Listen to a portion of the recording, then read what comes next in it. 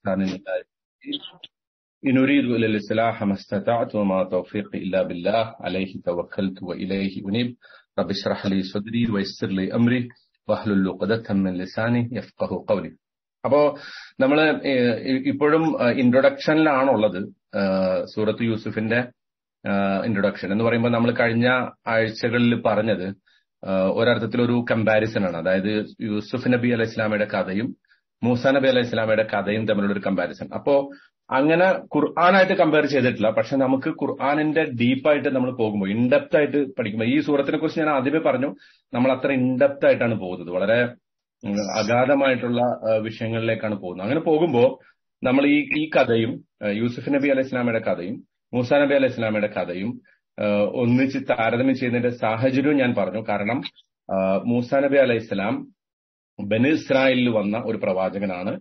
ആ പ്രവാചകൻ മൂസ നബി അലൈഹി ഇസ്ലാമിക്ക് ഒരു പാരമ്പര്യമുണ്ട്. ആ പാരമ്പര്യം എത്തിച്ചേരുന്നത് യൂസുഫ് നബിയിലേക്കും അവിടുന്ന് യാക്കൂബ് നബി ഇസ്ഹാഖ് നബി ഇബ്രാഹിം നബി. അങ്ങനെ ഒരു പാരമ്പര്യത്തിലേക്കാണ് എത്തിച്ചേരുന്നത്. നമ്മൾ പറഞ്ഞു നിർത്തിയത് എവിടെയെന്ന് വെച്ചാൽ പിന്നെ മൂസാ നബിയുടെ ഉമ്മ ഒക്കെ അള്ളാഹു സുബാനു താല പെട്ടെന്ന് തന്നെ അവരുടെ പ്രാർത്ഥനയ്ക്ക് ഉത്തരം നൽകിയിട്ട് മകനെ തിരിച്ചു കൊടുത്തു. അതേസമയം യൂസുഫ് നബിയുടെ വാപ്പയ്ക്ക് യഹൂബ് നബി അലൈഹി ഇസ്ലാമിക്ക് ദീർഘനാളത്തെ കാത്തിരിപ്പിന് ശേഷം അദ്ദേഹത്തിന്റെ ഒരുപാട് പ്രാർത്ഥനകൾക്കും അദ്ദേഹം ഒരുപാട് കണ്ണുനീർ ഒഴുക്കിയതിനു ശേഷവും മാത്രമാണ് അദ്ദേഹത്തിന്റെ മകനെ തിരിച്ചു കിട്ടുന്നത്. അപ്പോ അതിന് ആ ഒരു പാഠത്തെ കമ്പയർ ചെയ്തുകൊണ്ട് നമ്മൾ പറഞ്ഞത് ചിലപ്പോ അങ്ങനെയായിരിക്കും. നമുക്ക് അള്ളാഹു സുബാനു താല നമ്മുടെ ജീവിതത്തിൽ നമ്മുടെ ജീവിതവുമായിട്ട് അതിനെ ബന്ധിപ്പിക്കുമ്പോൾ നമുക്ക് മനസ്സിലാകുന്നത് ജീവിതത്തിൽ അങ്ങനത്തെ ചില പരീക്ഷണങ്ങൾ അള്ളാഹു നൽകും. നമ്മൾ എന്തെങ്കിലും ചെയ്യാം എന്തൊക്കെ ഓപ്ഷനുകൾ നമ്മുടെ ജീവിതത്തിൽ ഉണ്ട് എന്ന് നമ്മൾ വിചാരിക്കുമ്പോൾ കാണാം നമ്മൾ ആകെ സ്റ്റക്കായി നിൽക്കുന്ന ഒരവസ്ഥ ഉണ്ടാവും. പക്ഷെ അതേ സന്ദർഭത്തിൽ നമുക്ക് ഒരുപാട് ചെയ്യാൻ ഒന്നും ചെയ്യാനില്ല എന്ന് നമ്മൾ വിചാരിച്ചു നിൽക്കുന്ന സന്ദർഭത്തിൽ നമുക്ക് എന്തെങ്കിലുമൊക്കെ ചെയ്യാൻ സാധിക്കും. അതാണ് പിന്നെ ഒരുപാട് ഓപ്ഷൻ ഉണ്ടായിരിക്കെ യഹൂബ് നബി അലൈഹി സ്വലാം സഹോദരങ്ങളുടെ അദ്ദേഹം യൂസുഫ് നബി അലൈഹി സ്വലാമിയുടെ സഹോദരങ്ങളുടെ പ്രവൃത്തിക്ക് നേരെ കണ്ണടച്ചു. കണ്ണടച്ചു എന്ന് പറഞ്ഞാൽ അദ്ദേഹം ഒരു ഓപ്ഷനും പ്രയോഗിച്ചില്ല. അവർ പറഞ്ഞത് സ്വീകരിച്ചു. അത് സബറുൻ ജമീൽ ഞാൻ ക്ഷമിക്കുന്നു എന്ന് പറഞ്ഞു. അതേസമയം മൂസാ നബി അലൈഹി സ്വലാമിയുടെ മാതാവ് മൂസാ നബിയെ പുഴയിൽ ഒഴുക്കിയതിനു ശേഷം സഹോദരിയോട് പറഞ്ഞു എന്ത് ചെയ്യാൻ പറഞ്ഞു? നിങ്ങൾ പിന്നെ സഹോദരിയോട് കുസീഹി ആ പിന്നെ മൂസാ നബിയെ പിന്തുടരാൻ വേണ്ടി പറഞ്ഞു. ആ ബാസ്ക്കറ്റിൽ ഒഴുക്കിയ കുഞ്ഞിനെ പിന്തുടരാൻ പറഞ്ഞു. ഒരു ഓപ്ഷനും ഇല്ലാതിരിക്കെ ആകെപ്പാടുണ്ടായിരുന്ന ഒരേ ഒരു ഓപ്ഷനാണ് ആരെങ്കിലും വെറുതെ ഇതിന്റെ ഒരു ഒരു കണ്ണ് ആ കുഞ്ഞിന്റെ മേലെ വെക്കാൻ വേണ്ടിയിട്ട് പറഞ്ഞ അങ്ങനെ അതിന്റെ പിന്നാലെ പോയത്. അത് ഇനിയും അതിന്റെ അകത്ത് കുറച്ച് പാഠങ്ങളുണ്ട്. അതും നമ്മൾ കുറച്ചുകൂടി ഡീറ്റെയിൽ ആയിട്ട് അതിന്റെ അകത്തേക്ക് പോവുകയാണ് കേട്ടോ. അതായത് കഴിഞ്ഞ ആഴ്ച പറഞ്ഞതിന്റെ തുടർച്ചയായിട്ട്. പത്ത് താരതമ്യങ്ങളാണ് നമ്മൾ ഇന്നലെ കഴിഞ്ഞ ക്ലാസ്സിൽ വരെ പറഞ്ഞത്. ഇനി പതിനൊന്നാമത്തെ ഒരു താരതമ്യം എന്ന് പറയുന്നത് ഈ പിന്നെ യക്കൂബ് യക്കൂബ് നബി അതായത് യൂസുഫ് നബി അലൈഹി ഇസ്ലാമയുടെ പിതാവ് പ്രതീക്ഷയോടെ കാത്തിരിക്കുന്നു. പക്ഷെ ഒന്നും ചെയ്യാതെ കാത്തിരിക്കുന്നു. എന്ന് പറഞ്ഞാൽ അദ്ദേഹത്തിന് ഒന്നും ചെയ്യാനില്ല. അദ്ദേഹത്തിന്റെ മുന്നിൽ യാതൊരുവിധ ഓപ്ഷനും ഇല്ലാത്തൊരവസ്ഥയിലാണ്. പക്ഷെ മൂസാ നബി അലൈഹി ഇസ്ലാമിയുടെ മാതാവിന് അള്ളാഹു തന്നെ ഒരു വഹി നൽകിയിട്ടുണ്ടായിരുന്നു. എന്ന് പറഞ്ഞാൽ ഒരു ഇൻസ്പിറേഷൻ ഒരു അതെങ്ങനെയാണ് ആ വഹി നൽകിയത്? മലക്കിനെ അയച്ചിട്ടാണോ? അതല്ല വേറെ ഏതെങ്കിലും രൂപത്തിലാണോ ഒന്നും ഖുറാൻ പറയുന്നില്ല. ഔഹ ഇലൈ ഇല ഉമ്മി മൂസ. വൗഹൈന ഇല ഉമ്മി മൂസ എന്നാണ് സൂറത്തുൽ ഖസസിൽ അള്ളാഹു അതിനെ കുറിച്ച് പറയുന്നത്. മൂസയുടെ മാതാവിന് നാം ഒരു വെളിപാട് നൽകി. ഒരു അവരുടെ മനസ്സിൽ തോന്നിച്ചതായിരിക്കാം. അല്ലെങ്കിൽ വളരെ സ്ട്രോങ് ആയിട്ടുള്ള ഒരു ഫീലിംഗ് അങ്ങനെയാണ്. അപ്പോ അതിൽ അവർക്ക് ഒരു പ്രതീക്ഷ ആ പ്രതീക്ഷ ഉണ്ടായിരിക്കെ തന്നെ അവരൊരു സ്റ്റെപ്പ് എടുത്തു. എന്ത്? മകളെ യൂസുഫ് മൂസാ നബി അലൈഹി ഇസ്ലാമയെ പിന്തുടരാൻ വേണ്ടി ആ ബാസ്ക്കറ്റിൽ ഒഴുകിപ്പോകുന്ന ആ കുട്ടിയെ പിന്തുടരാൻ വേണ്ടി കൽപ്പിച്ചു. ഒരു ഓപ്ഷനും ഇല്ലാതിരിക്കെ. പക്ഷെ എന്തുകൊണ്ടാന്ന് വെച്ചാൽ അവർക്കൊരു പ്രതീക്ഷ ഉണ്ടായിരുന്നു. യാക്കൂബ് നബിക്ക് ഇസ്ലാമിക്ക് പ്രതീക്ഷ ഉണ്ടായിരുന്നു. പക്ഷെ ഒന്നും ചെയ്യാനില്ലാത്ത ഒരു ഓപ്ഷനും അദ്ദേഹത്തിന്റെ മുന്നിൽ ഇല്ലാത്ത ഒരു അവസ്ഥയിൽ അദ്ദേഹം പ്രാർത്ഥിച്ചുകൊണ്ടും അള്ളാഹുവിനോട് കരഞ്ഞ് തന്റെ ദുഃഖം പ്രകടിപ്പിച്ചു. അതാണ് മറ്റൊരു താരതമ്യം. അതായത് അല്ലെങ്കിൽ മറ്റൊരു പാഠം. ആ മൂസാ നബിയുടെ യക്കൂബ് നബിയുടെ ജീവിതത്തിൽ നിന്നുള്ള ഒരു പാഠം അതാണ്. നമുക്ക് സങ്കടം വന്നാൽ കരയാം. സങ്കടം വന്നാൽ ആ സങ്കടം പ്രകടിപ്പിക്കാം. ഒരിക്കലും മരി ഒരാളുടെ ഒരു പ്രിയപ്പെട്ട ആളുടെ വേർപാടിൽ വിഷമിക്കുന്ന ആരോ ആളോട് നമ്മൾ ഒരിക്കലും പറയരുതെന്ത്? നിങ്ങൾ നിങ്ങൾക്ക് സബർ വേണം. നിങ്ങൾ വിഷമിക്കരുത് എന്ന് പറയരുത്. വിഷമിക്കണം. വിഷമിക്കേണ്ട അവസ്ഥ വരുമ്പോൾ വിഷമിക്കണം. പക്ഷേ ആ വിഷമം അല്ലെങ്കിൽ ആ സങ്കടം ആ കരച്ചിൽ ആ കരച്ചിൽ ഒരിക്കലും ഏതിലേക്ക് എത്തരുത്? അള്ളാഹുവിന്റെ വിധിയെ നിഷേധിക്കുന്ന രൂപത്തിലേക്ക് എത്തരുത്. നമ്മുടെ ഉള്ളിലുള്ള വിശ്വാസം കളയുന്ന രൂപത്തിലേക്ക് ആ സങ്കടം എത്തരുത് എന്നുള്ളതാണ്. കാരണം തെളിവ് എന്താന്ന് വെച്ചാൽ യഹൂബ് നബി അലൈഹി ഇസ്ലാമിനെ കുറിച്ച് പറയുന്നിടത്ത് അള്ളാഹു തന്നെ പറയുന്നുണ്ട്. ഹത്ത അതായത് ആ സഹോദരങ്ങളുടെ യക്കൂബ് നബിയുടെ മക്കളുടെ വാചകത്തിന്റെ രൂപത്തിൽ തല്ലാഹി തദ്ക്കുറു യൂസുഫ് ഹത്ത തക്കൂന ഹറലൻ ഔ മിനൽ ഹാലിക്കീൻ. നമ്മൾ ഈ സൂറത്തിൽ അത് പഠിക്കാൻ പോവാണ്. ഇപ്പോഴും താങ്കൾ അതായത് ഒരുപാട് കാലം വയസ്സായി ആ ഒരു ഘട്ടത്തിൽ എത്തിയിട്ടും യൂസുഫ് നബിയെ കുറിച്ച് താങ്കൾ എങ്ങനെ ആലോചിച്ചുകൊണ്ടിരിക്കുകയാണോ? ഹത്ത തക്കൂന ഹറലൻ എത്രത്തോളം എന്ന് വെച്ചാൽ താങ്കൾ മരിച്ചു പോകും മരണപ്പെട്ടു പോകും. ആ തക്കൂനമിനൽ ഹാലിക്കിൻ അല്ലെങ്കിൽ നശിച്ചു പോകും. ആരോഗ്യമൊക്കെ നശിച്ച് അങ്ങനത്തെ ഒരു അവസ്ഥയിൽ എത്തുന്നത് വരെ താങ്കൾ ഇങ്ങനെ യൂസുഫിനെ കുറിച്ച് ആലോചിക്കുകയാണോ എന്ന് ചോദിക്കുന്നുണ്ട്.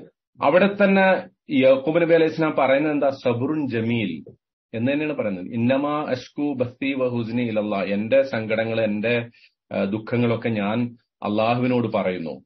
അലമുഹി അലമു മിനല്ലാഹി മാല താലമൂൻ അള്ളാഹുവിങ്കൽ നിന്ന് നിങ്ങൾക്കറിയാത്തത് എനിക്കറിയാം എന്ന് പറഞ്ഞിട്ട് അപ്പൊ അള്ളാഹുവിനുള്ള അടിയുറച്ച വിശ്വാസം ഉണ്ടായിരിക്കെ തന്നെ it's okay to be sad it's okay to be in deep deep sorrow അഗാധമായ കരച്ചിൽ മനസ്സിന്റെ ഉള്ളിൽ തട്ടിയുള്ള വേദന ഇതൊക്കെ നമുക്ക് ഉണ്ടാകാം വിഷമങ്ങൾ വരുമ്പോ. പക്ഷെ ഏതൊരു സങ്കടാവസ്ഥയിലും ഏതൊരു വിഷമാവസ്ഥയിലും നമ്മൾ ഒരിക്കലും വിശ്വാസത്തെ നിഷേധിക്കുന്ന വർത്തമാനങ്ങൾ പറയും പിന്നെ നമ്മളുടെ മനസ്സിൽ നിന്ന് വിശ്വാസം പോയതായി ചില ആളുകൾ അങ്ങനെ ചോദിക്കാറുണ്ട്.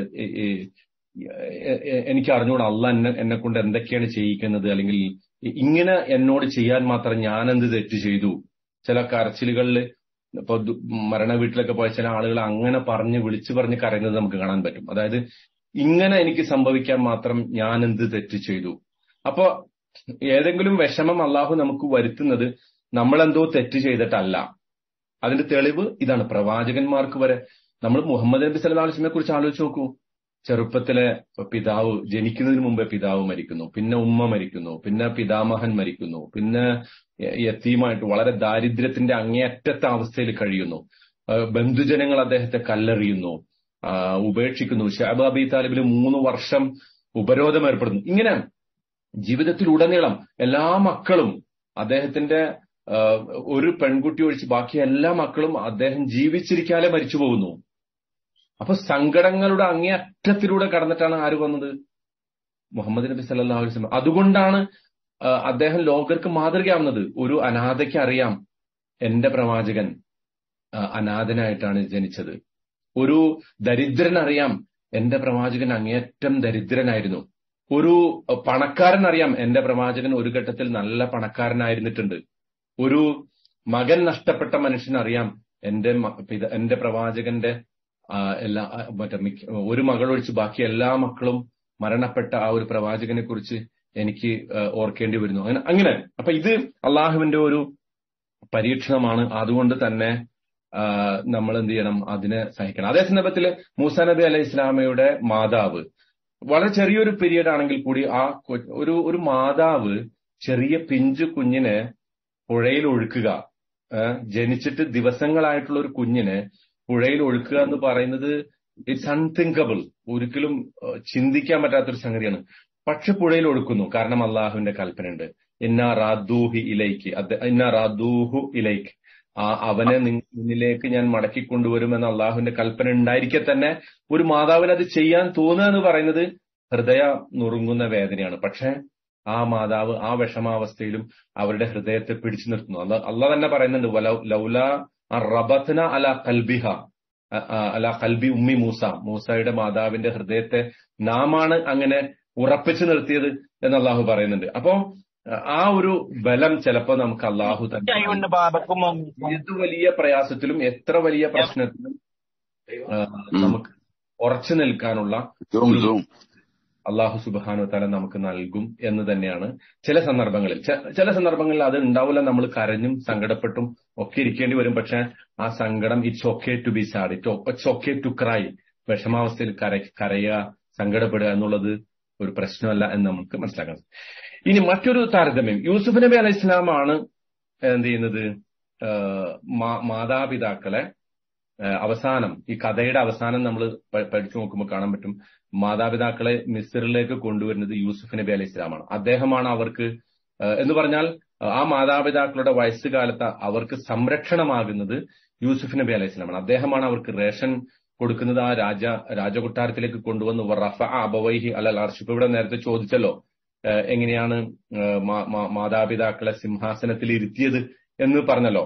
അപ്പോ ആ മാതാപിതാക്കൾക്ക് അവസാന കാലത്ത് ആശ്രയമാകുന്നത് യൂസുഫ് നബി അലൈഹി ഇസ്ലാമയാണ് അതേ സന്ദർഭത്തിൽ മൂസാ നബി അലൈഹി ഇസ്ലാമയെ തിരിച്ചു കിട്ടുന്ന സന്ദർഭത്തിൽ മൂസാ നബിക്ക് ആശ്രയമാകുന്നത് മാതാവാണ്.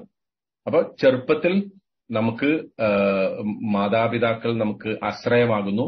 അവർ വലുതാകുമ്പോൾ അവർക്ക് ആശ്രയമാകാൻ നമുക്ക് കഴിയണം എന്ന വളരെ വലിയൊരു മെസ്സേജ് അത് മറ്റൊരു മെസ്സേജ് എന്താന്ന് വെച്ചാൽ ചിലപ്പോൾ മാതാപിതാക്കളുടെ സംരക്ഷണയിലായിരിക്കും മക്കൾക്ക് അവരുടെ ജീവിതകാലം മുഴുവൻ അങ്ങനെയാകാൻ സാധ്യതയുണ്ട്. നേരെ തിരിച്ച് മാതാപിതാക്കൾ വളരെ ദരിദ്രരായ അവസ്ഥയിൽ മക്കൾ തന്നെ അവരെ സംരക്ഷിക്കേണ്ടുന്ന അവസ്ഥയിൽ വരും. രണ്ടവസ്ഥയിലായാലും ആ മാതാപിതാക്കളോടുള്ള ബാധ്യത അവരോടുള്ള കടപ്പാട് നിർവഹിക്കുക എന്നുള്ളത് മക്കൾ ഒരു ഒരു ഘട്ടത്തിലും മറന്നു പോകാൻ പാടില്ലാത്തതാണ് എന്ന ഒരു വളരെ വളരെ വലിയൊരു മെസ്സേജ് അതിലുണ്ട്. പിന്നെ അടുത്ത ഒരു താരതമ്യം എന്ന് പറയുന്നത് ഈ രണ്ട് കഥയിലും യൂസുഫ് നബി അലൈഹി ഇസ്ലാമയുടെ കഥയിലും മൂസ നബി അലൈഹി ഇസ്ലാമയുടെ കഥയിലും ഒരു രഹസ്യമുണ്ട്. ആ രഹസ്യം എന്താന്ന് വെച്ചാൽ യൂസുഫ് നബി അലൈഹി ഇസ്ലാം ഒരു സ്വപ്നം കാണുന്നുണ്ടല്ലോ അല്ലെ? ആ സ്വപ്നം കാണുമ്പോ ആ സ്വപ്നത്തെ കുറിച്ച് വാപ്പാനോട് പറയുമ്പോ വാപ്പ പറയുന്നത് എന്താ മോനെ ഈ ലാ എന്താണ് അതിനെ കുറിച്ച് പറയാ ഈ സ്വപ്നത്തെ കുറിച്ച് നിന്റെ സഹോദരങ്ങളോട് പറയരുത്. ലാ തഖസുസ് റുയാക്ക അലാ ഇഹ്വത്തിക ലക ഖൈദ നിന്റെ സഹോദരങ്ങളോട് ഈ സ്വപ്നത്തെ കുറിച്ച് പറയരുത്. ഇതൊരു രഹസ്യമായിട്ട് സൂക്ഷിക്കണം എന്നതാണ് ആര് പറയുന്നത്? യൂസുഫ് നബി അലൈഹി ഇസ്ലാമിയുടെ അദ്ദേഹത്തിന്റെ പിതാവ് യക്കൂബ് നബി അലൈഹി ഇസ്ലാം പറയുന്നത്. ഇതേപോലെ ഒരു രഹസ്യം മൂസ നബി അലൈഹി ഇസ്ലാമിയുടെ കഥയിലുണ്ട്. അതെന്താ? അതെന്താന്ന് വെച്ചാൽ സൂറത്തുൽ ഖസസിൽ അള്ളാഹു അത് പറയുന്നത് മൂസ നബി അലൈഹി ഇസ്ലാമിയുടെ സിസ്റ്റർ സഹോദരി ഉഖ്ത് അവരെ ഇങ്ങനെ പിന്തുടരുമ്പോ മൂസാ നബിയെ പുഴയിൽ ഒഴിക്കിന് ശേഷം നൈലിൽ ഒഴിക്കിന് ശേഷം പിന്തുടരുമ്പോ അതിനെക്കുറിച്ച് അള്ളാഹു പറയുന്നത് ബസുറത്ത് ബിഹി അൻ ജുനുബിൻ വഹും ലായ അലമൂൻ അവരറിയാതെ അതായത് ഫിർഔനിന്റെ പട്ടാളക്കാരോ കിങ്കരന്മാരോ അറിയാതെ ഒരു സൈഡിലൂടെയാണ് ആര് പോകുന്നത്? ഈ മൂസാ നബി അലൈഹി ഇസ്ലാമിയുടെ സഹോദരി ഇങ്ങനെ പോകുന്നത്. അപ്പോ അവർക്കറിയാം എന്ത് ഈ ബാസ്ക്കറ്റിലുള്ളത് എന്റെ സഹോദരനാണ്. ആ പെൺകുട്ടി ആ പെൺകുട്ടിയുടെ വയസ്സിനെ കുറിച്ചൊക്കെ നേരത്തെ നമ്മൾ പറഞ്ഞ പോലെ ഖുർആൻ ഡിസ്കസ് ചെയ്തിട്ടില്ല. പക്ഷെ ഒരുപാട് വലിയ പ്രായമൊന്നും ഇല്ലാത്ത ഒരു സഹോദരിയാണ്. ഒരു ഒരു ഒരു ഒരു പിന്നെ എന്താ പറയാ ഒരു കൗമാര പ്രായം പോലും എത്തിയിട്ടില്ലാത്ത ഒരു സഹോദരിയാണ് എന്ന് പറയാവുന്ന രൂപത്തിലാണ് നമുക്ക് ആ സാഹചര്യത്തിൽ നിന്ന് മനസ്സിലാക്കാൻ സാധിക്കും അപ്പോ അത്രയും വലിയൊരു പക്വതയോ പ്രായപൂർത്തിയോ ഒന്നും എത്താത്ത ഒരു പെൺകുട്ടി ഒരു വലിയ രഹസ്യം മനസ്സിൽ സൂക്ഷിച്ചിട്ട് എന്ത് ചെയ്യാണ്? ആ മൂസ നബി അലൈഹി ഇസ്ലാമെ പിൻപറ്റിയാണ്. എന്നിട്ട് പിന്നീട് ആ മൂസ നബിയെ ഫിറൌന്റെ കൊട്ടാരത്തിലെ ആളുകൾ എടുക്കുമ്പോ അവരെന്ത് ചെയ്യാണ്? ഈ പെൺകുട്ടി ഈ ഈ കുട്ടി അതായത് മൂസ നബി അലൈഹി ഇസ്ലാം മറ്റ് മുലകുടി നിരസിക്കണം മറ്റു ആരുടെ മുലകുടി സ്വീകരിക്കുന്നില്ല. അങ്ങനെ ആളെ അന്വേഷിച്ച് രാജകൊട്ടാരത്തിൽ നിന്ന് ആളുകൾ വരണു. ആർക്കെങ്കിലും ഒരു കുട്ടിയെ മുല കൊടുക്കാൻ കിട്ടുമോ അങ്ങനെ ഒരാളെ അന്വേഷിച്ച് വരുമ്പോ അവിടെ തന്നെ ചുറ്റിപ്പറ്റി നിൽക്കണ ആര്? ഈ മൂസാ നബിയുടെ സിസ്റ്റർ ആ കൊട്ടാരത്തിന് ചുറ്റും ഇങ്ങനെ നിൽക്കണം എന്താണ് സംഭവിക്കണമെന്ന് അറിയാൻ വേണ്ടി.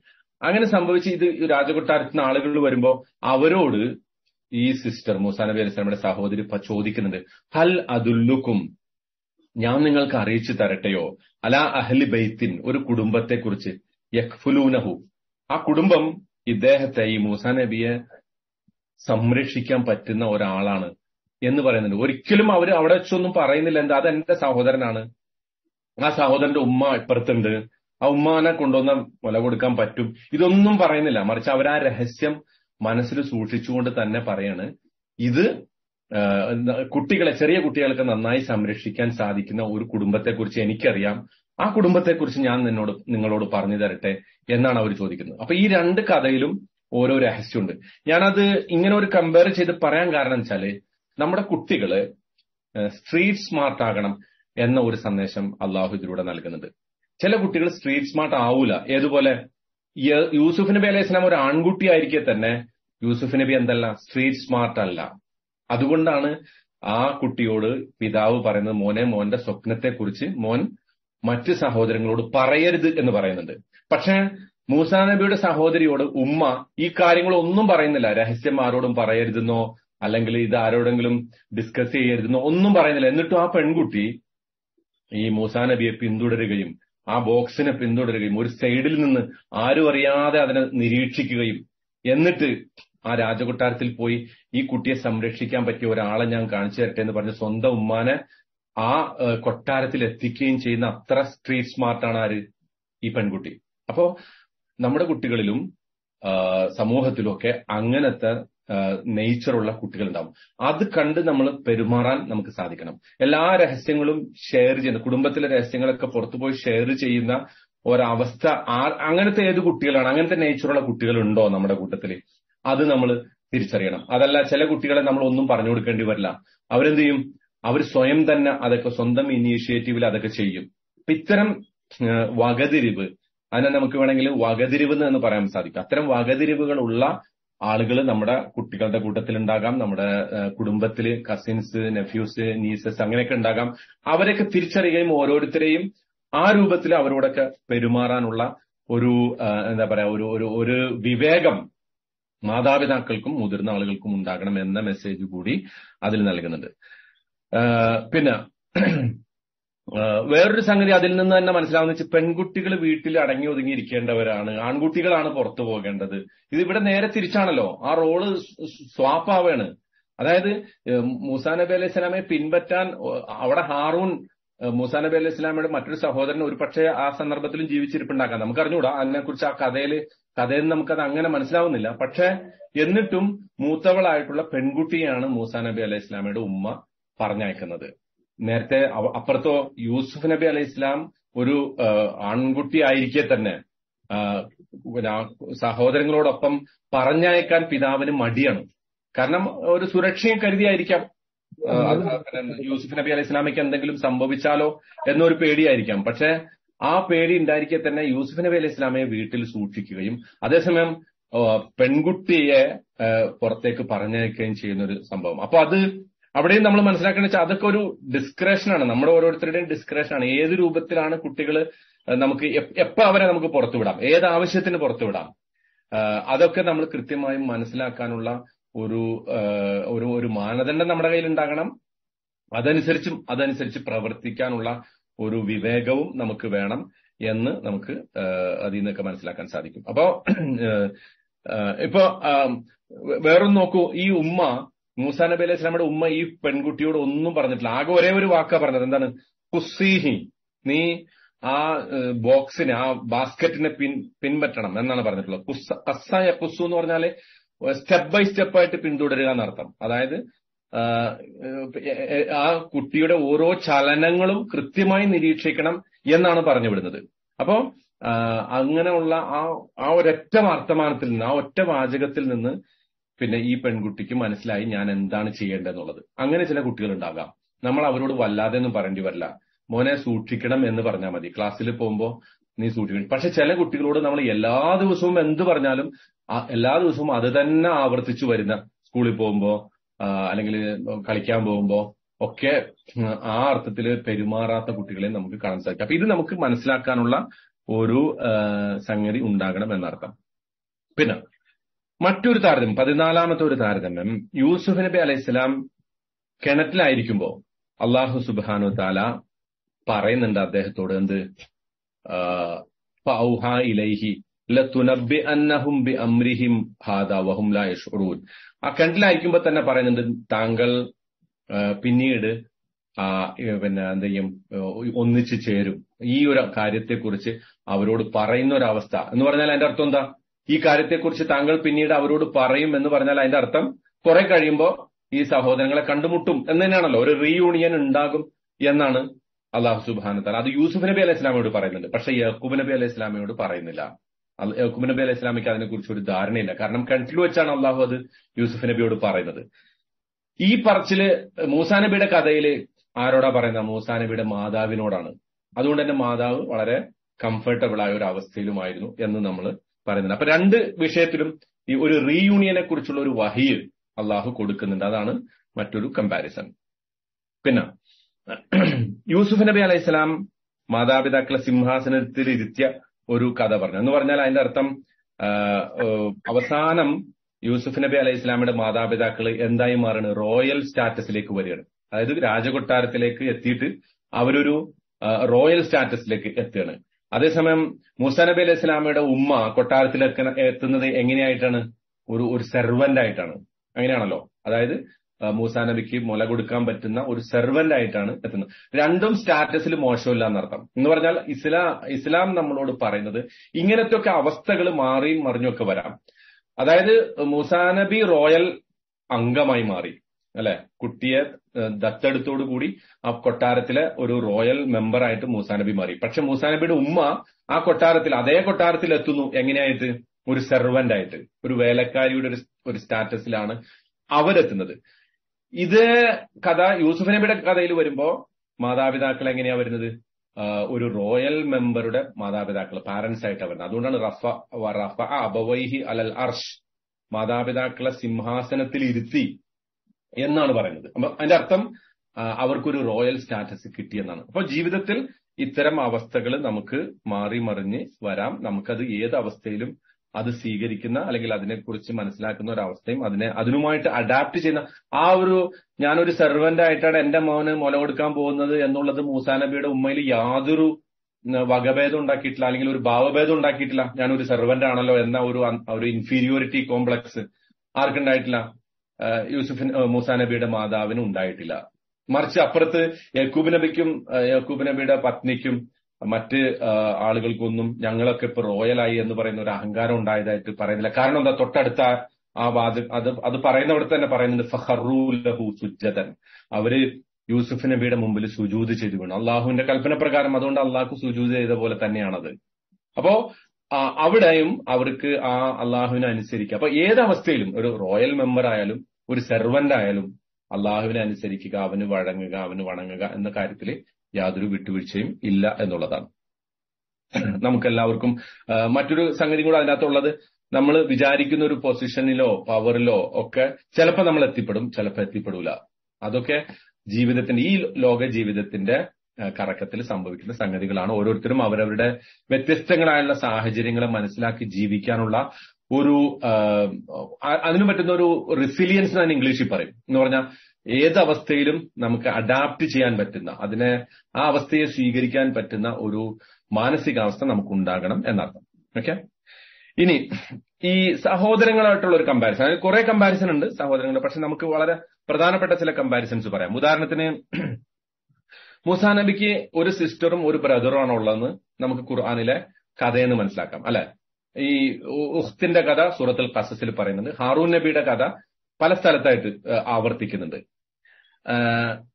അപ്പോ ഈ സിസ്റ്ററുടെ റോൾ വരുന്ന എവിടെയാ?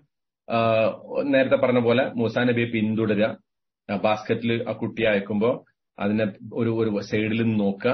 എന്നിട്ട് ആ കൊട്ടാരത്തിൽ എത്തിക്കഴിഞ്ഞതിന് ശേഷം എന്താണ് അതിന് സംഭവിക്കുന്നത് നോക്കാം. കൂടി നിഷേധിക്കപ്പെട്ട് കഴിഞ്ഞപ്പോ വഹറംന അലൈഹിൽ മറാല എന്ന് സൂറത്തുൽ കസസിൽ അള്ളാഹു അതിനെ കുറിച്ച് പറയുന്നുണ്ട്.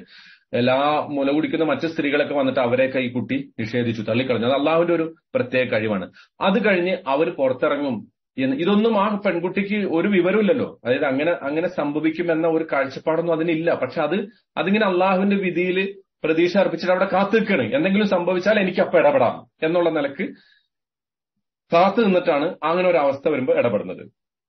അപ്പൊ അങ്ങനത്തെ ഒരു സിസ്റ്ററെ കുറിച്ച് കുറുക്കാൻ പരിചയപ്പെടുന്നു ഒരു ബ്രദർ ഹാറൂൺ നബി അലൈഹി ഇസ്ലാമിയെ കുറിച്ച് പിന്നീട് പറയുന്നു അവിടെയെല്ലാം ഈ പിന്നെ എന്താണ് അള്ളാഹു ഈ ഈ പിന്നെ ഹാറൂൻ നബി അലൈഹി ഇസ്ലാമിയെ കുറിച്ചിട്ടുള്ള വർത്തമാനങ്ങളിലൊക്കെ യൂസുഫിന് സോറി മൂസാ നബി അലൈഹി ഇസ്ലാമിക്ക് താങ്ങും തണലുമായിട്ട് നിൽക്കുന്ന ഒരു ബ്രദറിനെ കുറിച്ച്. നേരെ മറിച്ച് അപ്പുറത്തോ യൂസഫ് നബി അലൈഹി ഇസ്ലാമിക്ക് പന്ത്രണ്ട് ബ്രദേഴ്സ് ഉണ്ട്. അതിൽ ഒരു ബ്രദർ യൂസഫ് നബിയുടെ സ്വന്തം മാതാവിൽ നിന്നുള്ള ഉമ്മയും വാപ്പ ഒത്ത ഒരു സഹോദരൻ ബിനിയാമിന് വളരെ ചെറിയ ഒരു സഹോദരനെ കുറിച്ച്. ആ സഹോദരങ്ങളെ കുറിച്ച് ഖുർആൻ പറയുന്നത് ലഖദ് ഖാന ഫി യൂസുഫ വ ഇഖ്വതിഹി ആയാത്തുൽ ലിസായിലീൻ യൂസുഫ് നബിയുടെ നമ്മളത് ആയത്ത് പഠിക്കുമ്പോൾ അതിനെക്കുറിച്ച് കൂടുതൽ വിശദീകരിക്കാം. അതായത് യൂസഫിലും അദ്ദേഹത്തിന്റെ സഹോദരങ്ങളിലും ചോദിക്കുന്ന പഠിക്കാൻ ആഗ്രഹിക്കുന്ന ആളുകൾക്ക് ഒരുപാട് ദൃഷ്ടാന്തങ്ങളുണ്ട് എന്ന് അള്ളാഹു പറയുന്നുണ്ട്. അപ്പോ അത് നമ്മൾ മനസ്സിലാക്കുമ്പോൾ ഇപ്പൊ നോക്കൂ അതിലൊരു കമ്പാ ഏറ്റവും വളരെ ഒരു ഇൻട്രസ്റ്റിംഗ് ആയിട്ടുള്ള ഒരു കമ്പാരിസൺ ഈ യൂസുഫ് നബിയുടെ സഹോദരങ്ങൾ അവർ പുറത്തു പോകുന്ന എന്തിനാ? യൂസുഫ് നബിയെ കൊണ്ട് പുറത്തു പോകണ എന്തിനാ? യൂസുഫ് നബീനെ ഒഴിവാക്കാനാണ്. To get rid of him എങ്ങനെയെങ്കിലും ഒഴിവാക്കണം. ഒന്ന് കൊല്ലാൻ വേണ്ടി ആദ്യം പറഞ്ഞു പിന്നെ പറഞ്ഞു വേണ്ട നമുക്ക് നാട് കടത്താന്ന് പറഞ്ഞു. അവസാനം അവർ തീരുമാനിച്ചെന്താ? പിന്നെ കിണറ്റിൽ എറിഞ്ഞാ മതി എന്ന് തീരുമാനിച്ചു. അപ്പോ യൂസുഫ് നബി അലൈഹി ഇസ്ലാമയുടെ ഈ സഹോദരങ്ങൾ അദ്ദേഹത്തോടുള്ള വെറുപ്പ് കൊണ്ട് അല്ലെങ്കിൽ ഒരു ശത്രുത കൊണ്ട് ആ സഹോദരനെ ഒഴിവാക്കാൻ വേണ്ടി വീട്ടിൽ നിന്ന് ഇറങ്ങുന്നു. മൂസാ നബി അലൈഹി ഇസ്ലാമയുടെ സഹോദരി വീട്ടിൽ നിന്ന് പുറത്തിറങ്ങണ എന്തിനാ? നഷ്ടപ്പെട്ടു പോയ അല്ലെങ്കിൽ ഉമ്മ പുഴയിൽ ഒഴുക്കിയ അള്ളാഹുവിന്റെ കൽപ്പന പ്രകാരം തന്നെ പുഴയിൽ ഒഴുക്കിയ ആ സഹോദരനെ തിരിച്ചെടുക്കാനാണ് റിട്രീവ് ചെയ്യാനാണ്. ഒരാൾ ഒരു സഹോദരി അല്ലെങ്കിൽ ഒരു സിബ്ലിങ്സ് പുറത്തിറങ്ങുന്നത് to get back the son മറ്റു സഹോദരങ്ങൾ പുറത്തിറങ്ങുന്നത് to get rid of the son അങ്ങനെ ഒരു കമ്പാരിസൺ നമുക്ക്. അപ്പോ അതിന്റെ അർത്ഥം നമുക്ക് സഹോദരങ്ങൾ ഉണ്ടാകുമ്പോൾ ചിലപ്പോൾ നമ്മളുടെ ജീവിതത്തിൽ നമ്മളെ അവരുടെ ജീവനേക്കാളും സ്നേഹിക്കുന്ന സഹോദരങ്ങൾ നമ്മുടെ കൂട്ടത്തിൽ ഉണ്ടായേക്കാം. സഹോദരങ്ങളുടെ കൂട്ടത്തിൽ.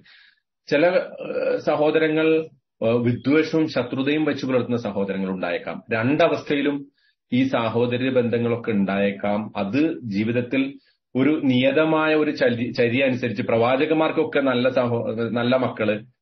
വേറെ ചില പിന്നെ പ്രവാചകന്മാരുടെ സഹോദരന്മാര് നല്ലവരായി മാറും. എങ്ങനെയൊന്നും ഒരു മാനദണ്ഡം ഒരു ക്രൈറ്റീരിയ ഒന്നുമില്ല. മറിച്ച് അതൊരു എന്താ പറയാ അത് അള്ളാഹുവിന്റെ ഒരു യുക്തിയും അവന്റെ മാത്രം അറിയുന്ന ഒരു വിവേകവും അനുസരിച്ചിട്ടാണ് അത് നടക്കുക എന്നുള്ളതാണ് അതിനെക്കുറിച്ച് നമുക്ക് പറയാനുള്ളത്. ഒരർത്ഥത്തിൽ മൂസാ നബി അലൈഹി ഇസ്ലാമിയുടെ സഹോദരി പുറത്തിറങ്ങുമ്പോൾ അവർ സ്വന്തം ജീവൻ തൃണവൽഗണിക്കുകയാണല്ലോ അല്ലെ? കാരണം എന്താ? ഏതെങ്കിലും ഒരു പട്ടാളക്കാരൻ നീ എന്തിനാണ് ഈ നദിയുടെ തീരത്തൂടെ ഇങ്ങനെ നടക്കുന്നത്? എന്ന് കാണുകയും എന്നിട്ട് ആ കുട്ടിയെ പുഴയിൽ ഒഴുക്കിയതിന്റെ വേണ്ടിയിട്ട് അതിന്റെ പിന്നാലെയാണ് പോകുന്നത് എന്ന് ഏതെങ്കിലും ഒരു പട്ടാളക്കാരൻ കണ്ടുപിടിച്ചാൽ അതിന്റെ അർത്ഥം ആ കുട്ടിയുടെ രണ്ടുപേരുടെയും ജീവൻ അപകടത്തിലാണെന്നുള്ളതാണ്. അപ്പൊ സ്വന്തം ജീവൻ പോലും അപകടത്തിലാക്കിയിട്ടാണ് മൂസാ നബി അലൈഹി സ്വലാമയുടെ സിസ്റ്റർ മൂസാ നബിയെ സംരക്ഷിക്കാനും അദ്ദേഹത്തിന് വിവരങ്ങൾ അറിയാനും വേണ്ടി പോകുന്നത്. പക്ഷേ യൂസുഫ് നബിയുടെ സിസ്റ്റർ ബ്രദേഴ്സിന്റെ അവസ്ഥയോ അവർ വളരെ കംഫർട്ടബിൾ ആയിട്ട് അദ്ദേഹത്തെ ഒഴിവാക്കാനുള്ള ഒരു പിന്നെ ശ്രമത്തിൽ വാപ്പയുമായി തർക്കിച്ചിട്ട് വാപ്പയുടെ അനുവാദം വാങ്ങിയിട്ട് ഞങ്ങൾ സംരക്ഷിച്ചോളാം ഇന്നാലഹൂല ഹാഫിദൂൻ ഞങ്ങൾ സംരക്ഷിച്ചോളാം എന്നൊക്കെ പറഞ്ഞ് ഉറപ്പ് കൊടുത്തിട്ടാണ് ആ സഹോദരങ്ങളെയും കൊണ്ട് യൂസുഫ് നബി എന്ന് പറയുന്ന സഹോദരൻ കൊണ്ട് അദ്ദേഹത്തിന്റെ സഹോദരങ്ങൾ പോകുന്നത്. അപ്പൊ അതിലും അതിലൊരു കമ്പാരിസൺ ഉണ്ട്. പിന്നെ മറ്റൊരു സംഗതി ഈ അവരെന്ത് ചെയ്യണം അവസാനം യൂസുഫ് നബിയുടെ സഹോദരങ്ങൾ അദ്ദേഹത്തെ ഉപേക്ഷിക്കണം. കിണറ്റിൽ ഉപേക്ഷിച്ചു പോരാണ്. പക്ഷേ മൂസാ നബിയുടെ സിസ്റ്ററോ സഹോദരിയോ അദ്ദേഹത്തെ ഉപേക്ഷിക്കുന്നില്ല എന്ന് മാത്രമല്ല കൊട്ടാരത്തിലേക്ക് ഈ കുട്ടി പോയിട്ടുണ്ട് എന്നറിഞ്ഞിട്ടും അവിടെ കാത്തു നിൽക്കുകയാണ്. അവസാന നിമിഷം വരെ അവരെന്ത് ചെയ്യാണ് ആ കുട്ടിയെ പിന്തുടരാനുള്ള ഒരു വലിയ ഒരു ഒരു വിശാലമായ ഒരു മനസ്സിന്റെ ഉടമ ഉടമസ്ഥയായിക്കൊണ്ടാണ് അവരതിനെ പിൻപറ്റുന്നത്.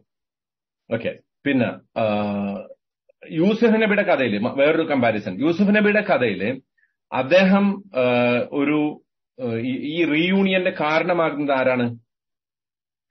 പിന്നെ യൂസുഫ് നബി തന്നെയാണ്. അതായത് അദ്ദേഹം തന്നെ പിന്നീട് അവസാനം രാജാവിന്റെ സ്വപ്നം വ്യാഖ്യാനിച്ച് രാജാവിന്റെ കൊട്ടാരത്തിൽ നല്ലൊരു പൊസിഷൻ കണ്ടെത്തി ആ പൊസിഷനിലൂടെ അവിടെ ഒരു സ്വാധീനം ഉണ്ടാക്കിയെടുത്ത് അങ്ങനെ കുടുംബത്തെ കൻആൻ എന്ന് പറയുന്ന പ്രദേശത്ത് നിന്ന് ഈജിപ്തിലേക്ക് കൂട്ടിയാണ്. പക്ഷെ മൂസാ നബിയുടെ കഥയിലെ മൂസാ നബിയുടെ സിസ്റ്ററാണ് ഈ റിയൂണിയന് കാരണമാവുന്നത്. അവരാണ് ആ തക്ക സമയത്ത് ഇടപെട്ടുകൊണ്ട് ഉമ്മയെ കുറിച്ച് ഇവർക്ക് പറഞ്ഞു കൊടുക്കുന്നത്. നല്ലൊരു കുടുംബത്തെ കുറിച്ച് ഞാൻ അറിയിച്ചു തരട്ടെയോ എന്ന് പറഞ്ഞിട്ട് പറഞ്ഞു കൊടുക്കുന്നത്. അപ്പോ യൂസുഫ് നബിയുടെ കഥയിൽ യൂസുഫ് നബി തന്നെയാണ് റീയൂണിയന്റെ കാരണമാകുന്നത്. മൂസാ നബിയുടെ കഥയിൽ മൂസാ നബിയുടെ സഹോദരിയാണ് ആ റീയൂണിയന് കാരണമാകുന്നത്. പിന്നെ യൂസുഫ് നബിയുടെ സഹോദരന്മാര് സ്വന്തം വാപ്പ അവർക്ക് കൊടുത്ത ഒരു ട്രസ്റ്റ് ഉണ്ട് അല്ലെ? ഇന്നാ ലഹുല ഹാഫിദുൻ നിങ്ങൾ നിങ്ങൾ ഈ കുട്ടിയെ കൊണ്ടുപോകുമ്പോ അവനെ സംരക്ഷിക്കണം ആ സംരക്ഷിച്ചു കൊള്ളാം എന്നൊരു വാഗ്ദാനം അവർ കൊടുത്തതിന്റെ പുറത്താണ് യാക്കൂബ് നബി അലൈഹി ഇസ്ലാം യൂസുഫ് നബിയെ ഇവരുടെ ഒപ്പം വിടുന്നത് അല്ലെ? അപ്പൊ ഒരു ട്രസ്റ്റ് അവിടെ ഉണ്ട്. പക്ഷെ ആ ട്രസ്റ്റ് ബ്രേക്ക് ചെയ്യണ ആര്? യൂസുഫ് നബിയുടെ സഹോദരന്മാര്. പക്ഷെ മൂസാ നബിയുടെ സഹോദരിയോ ആ ട്രസ്റ്റ് അപ്ഹോൾഡ് ചെയ്യണം ഉയർത്തിപ്പിടിക്കണം. അവസാന നിമിഷം വരെ അവരത് ഉയർത്തിപ്പിടിക്കണം. നോക്കൂ രണ്ട് ഇനി വരുന്ന ഒരു കമ്പാരിസൺ അതിനേക്കാളും രസമാണ്. രണ്ടിലും ഒരു ക്രിയേറ്റീവ് സ്റ്റോറി ഉണ്ട് അല്ലെ? ഒരു കഥ കള്ളക്കഥയാണ്. ആരാണ്? യൂസുഫ് നബിയുടെ ബ്രദേഴ്സ് ഒരു കള്ളക്കഥ പറയണം. എന്താ കഥ? ചെന്നായ പിടിച്ചു. ചെന്നായ പിടിച്ചു എന്ന് തെളിയിക്കാൻ വേണ്ടി അവരെന്ത് ചെയ്യുന്നു? ഒരാടിനെ അറുത്തിട്ട് അതിന്റെ ബ്ലഡ് യൂസുഫ് നബിയുടെ ഷർട്ടിൽ ആ ഷർട്ടിലാക്കിയിട്ട് ആ കമീസുമായിട്ടാണ് ആരുടെ അടുത്ത് വരുന്നത്? വാപ്പാടെ അടുത്ത് വരുന്നത്. ഒരു ക്രിയേറ്റീവ് സ്റ്റോറി അവരുണ്ടാക്കി. ക്രിയേറ്റീവ് ആണ് പക്ഷെ അതെന്താണ്? നുണയാണ്. ഇവിടെ നോക്കൂ വളരെ ഇൻട്രസ്റ്റിംഗ് ആയിട്ടുള്ള സംഗതി. വ ഇന്നാലഹുല നാസിഹൂൻ ഞങ്ങൾ അദ്ദേഹത്തോട് നന്മ അദ്ദേഹത്തിനോടൊരു ഗുണകാംക്ഷയുള്ള ആളാണല്ലോ എന്ന് പറഞ്ഞിട്ടാണല്ലോ യൂസുഫ് നബീനെ കൊണ്ടുപോകുന്നത്. ഈ മൂസാ നബിയുടെ കഥയിൽ ഈ സിസ്റ്റർ മൂസാ നബിയുടെ സഹോദരി ഈ യക്കൂ സോറി ഫിറാവുന്റെ പട്ടാളക്കാരോട് അല്ലെങ്കിൽ ഫിറാവുന്റെ കിങ്കരന്മാര് ഒരു മുല കുടിക്കാൻ മുല കൊടുക്കാൻ പറ്റിയ ഒരു സ്ത്രീ അന്വേഷിച്ചു വരുമ്പോ അവരോട് പറയുന്ന ഒരു വർത്തമാനത്തിലും നാസിഹൂൻ ഉണ്ട് എന്താണ്? ഹൽ അതുല്ലുക്കും അല ബൈത്തിൻ അല അഹ്ലി ബൈത്തിൻ യക്ഫുലൂനഹു ഈ ഈ കുട്ടിയെ സംരക്ഷിക്കാൻ പറ്റിയ ഒരു കുടുംബത്തെ ഞാൻ അറിയിച്ചു തരട്ടെയോ? വഹും ലഹു നാസിഹൂൻ. ആ പദങ്ങളുടെ കമ്പാരിസൺ. ഇതൊക്കെ അള്ളാഹുവിൽ നിന്നാണ് ഖുർആൻ എന്ന് തെളിയിക്കുന്ന സംഗതികൾ കൂടിയാണ് കേട്ടോ ഇതൊക്കെ. ഇത്തരം കമ്പാരിസൺ നമ്മൾ നടത്തുന്നതിന്റെ ഒരു ഒരു വലിയ പിന്നെ ഉദ്ദേശം കൂടി അത് തന്നെയാണ്. അതായത് എത്രത്തോളം ഈ കഥകളൊക്കെ ബന്ധപ്പെട്ട് നിൽക്കുന്നു. ഈ കഥകളിൽ നമ്മൾ ഈ പറയുന്ന കമ്പാരിസൺ എങ്ങനെയോ കമ്പാരിസൺ നടത്താൻ വേണ്ടി എവിടെ നിന്നൊക്കെയോ കുറെ സംഗതികൾ യോജിപ്പിക്കുന്നില്ല മറിച്ച് ഖുർആന്റെ പദങ്ങളുടെ യൂസേജ് അല്ലെങ്കിൽ ഖുർആൻ ഒരു കഥ പറയുന്ന ശൈലിയുടെ പ്രത്യേകത. ഇതൊക്കെ ഈ ഈ കമ്പാരിസണിൽ നമുക്ക് മനസ്സിലാവും. അതായത് യൂസുഫ് നബിയുടെ സഹോദരങ്ങൾ ഞങ്ങൾ ആ പിന്നെ യൂസുഫിനോട് നാസിഹൂനാണെന്ന് നുണ പറയുന്നു. ശരിക്കും വാസ്തവത്തിൽ അവർ നാസിഹൂൻ അല്ല പക്ഷെ അവർ ഉപയോഗിച്ച പദം നാസിഹൂനാണ്. എന്തിനാ അത് ഉപയോഗിച്ചത്? യാക്കൂബ് നബിയെ തൃപ്തിപ്പെടുത്താൻ അല്ലെങ്കിൽ അദ്ദേഹത്തെ വിശ്വസിപ്പിക്കാൻ. നേരെ മറിച്ച് ഇവിടെ മൂസാ നബിയുടെ സഹോദരി ഫിർഔനിന്റെ കൊട്ടാരത്തിലെ സ്ത്രീകളോട് ഈ ഒരു മുല കുടിക്കുന്ന സ്ത്രീ അന്വേഷിച്ച് ഇറങ്ങിയ ആ പരിചാരികമാരോട് പറയുന്ന വർത്താനം ഈ കുടുംബം മൂസാ നബിയുടെ കുടുംബത്തെ കുറിച്ച് ഞാൻ അറിയിച്ചു. അവിടെ ഒന്നും അവർ പറയുന്നില്ല ഇത് എന്റെ ബ്രദറാണെന്നോ ഈ ഞാൻ പറഞ്ഞു തരാൻ പോകുന്ന കുടുംബത്തിലെ ആ സ്ത്രീ മൂസാ നബിയുടെ മാതാവാണെന്ന് ഒന്നും പറയുന്നില്ല. മറിച്ച് പറയുന്നത് ഇത്ര മാത്രമേ ഉള്ളൂ. വഹും ലഹു നാസഹൂൻ. നല്ല ഗുണകാംക്ഷ വെച്ച് പുലർത്തുന്ന ഒരു കുടുംബമുണ്ട്. ആ കുടുംബത്തെ ഞാൻ അറിയിച്ചു തരട്ടെയോ എന്ന് മാത്രമാണ് പറയുന്നത്. അപ്പോ അതും ഒരു ക്രിയേറ്റീവ് സ്റ്റോറിയാണ് പക്ഷെ ആ സ്റ്റോറിയിൽ നുണയില്ല അല്ലെ? മൂസാ നബിയുടെ സിസ്റ്റർ പറഞ്ഞത് സ്റ്റോറിയാണ് എന്ത്? ഈ കുട്ടിയെ സംരക്ഷിക്കാൻ പറ്റിയ ചെറിയ കുട്ടികളെ സംരക്ഷിക്കാൻ പറ്റിയ ഒരു കുടുംബമുണ്ട് ഈ നാട്ടിൽ. വളരെ നന്നായിട്ട് ആ കുടും കുട്ടിയെ അവർ സംരക്ഷിച്ചുകൊള്ളും. അങ്ങനെ ഒരു കുടുംബത്തെ ഞാൻ അറിയിച്ചു തരട്ടെയോ? എന്നാ പറഞ്ഞത്? അപ്പൊ അത് നുണയാണോ? അല്ല. മറിച്ച് അതൊരു ക്രിയേറ്റീവ് സ്റ്റോറിയാണ് ആ സ്റ്റോറിയിൽ എല്ലാം പറഞ്ഞിട്ടില്ല എന്നേ ഉള്ളൂ. അപ്പൊ അങ്ങനെയുണ്ട് ചിലത്. നമുക്ക് ചിലപ്പോ ചില സംഗതികൾ പറയേണ്ടി വരും. എങ്ങനെ? ഉള്ളത് മുഴുവൻ പറയാതെ കുറച്ച് മാത്രം പറയേണ്ട സാഹചര്യങ്ങൾ ഉണ്ടാവാം ജീവിതത്തിൽ അങ്ങനെയുണ്ടല്ലോ? പറയുന്നത് സത്യമായിരിക്കണമെന്നേ നിർബന്ധമുള്ളൂ. എല്ലാ സത്യവും പറയാൻ നിൽക്കണ്ട എന്നുള്ളതാണ്.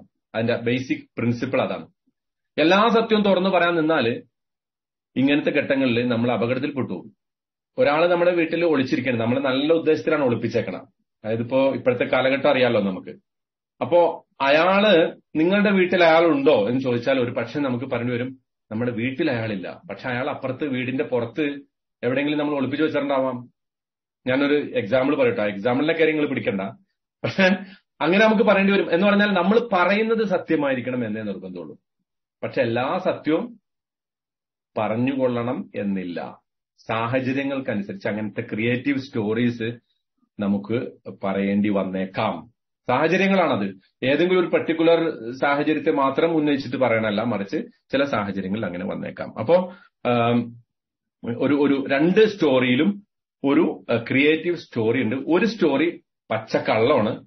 മറ്റേ സ്റ്റോറി സത്യമാണ് ട്രൂത്ത് ആണ് പക്ഷെ മുഴുവൻ ട്രൂത്ത് അല്ല എന്ന് എന്ന വ്യത്യാസം ഉള്ള ഒരു അങ്ങനത്തെ ഒരു എലമെന്റ് ഒരു കമ്പാരിസന്റെ എലമെന്റ് കൂടി അവിടെ ഉണ്ട് ഇനി മറ്റൊരു കമ്പാരിസൺ സഹോദരങ്ങളെ കുറിച്ച് പറയുമ്പോൾ ഈ ബ്രദേഴ്സ് യൂസഫ് നബിയുടെ ബ്രദേഴ്സ് വാപ്പയോട് തർക്കിക്കണം അല്ലെ?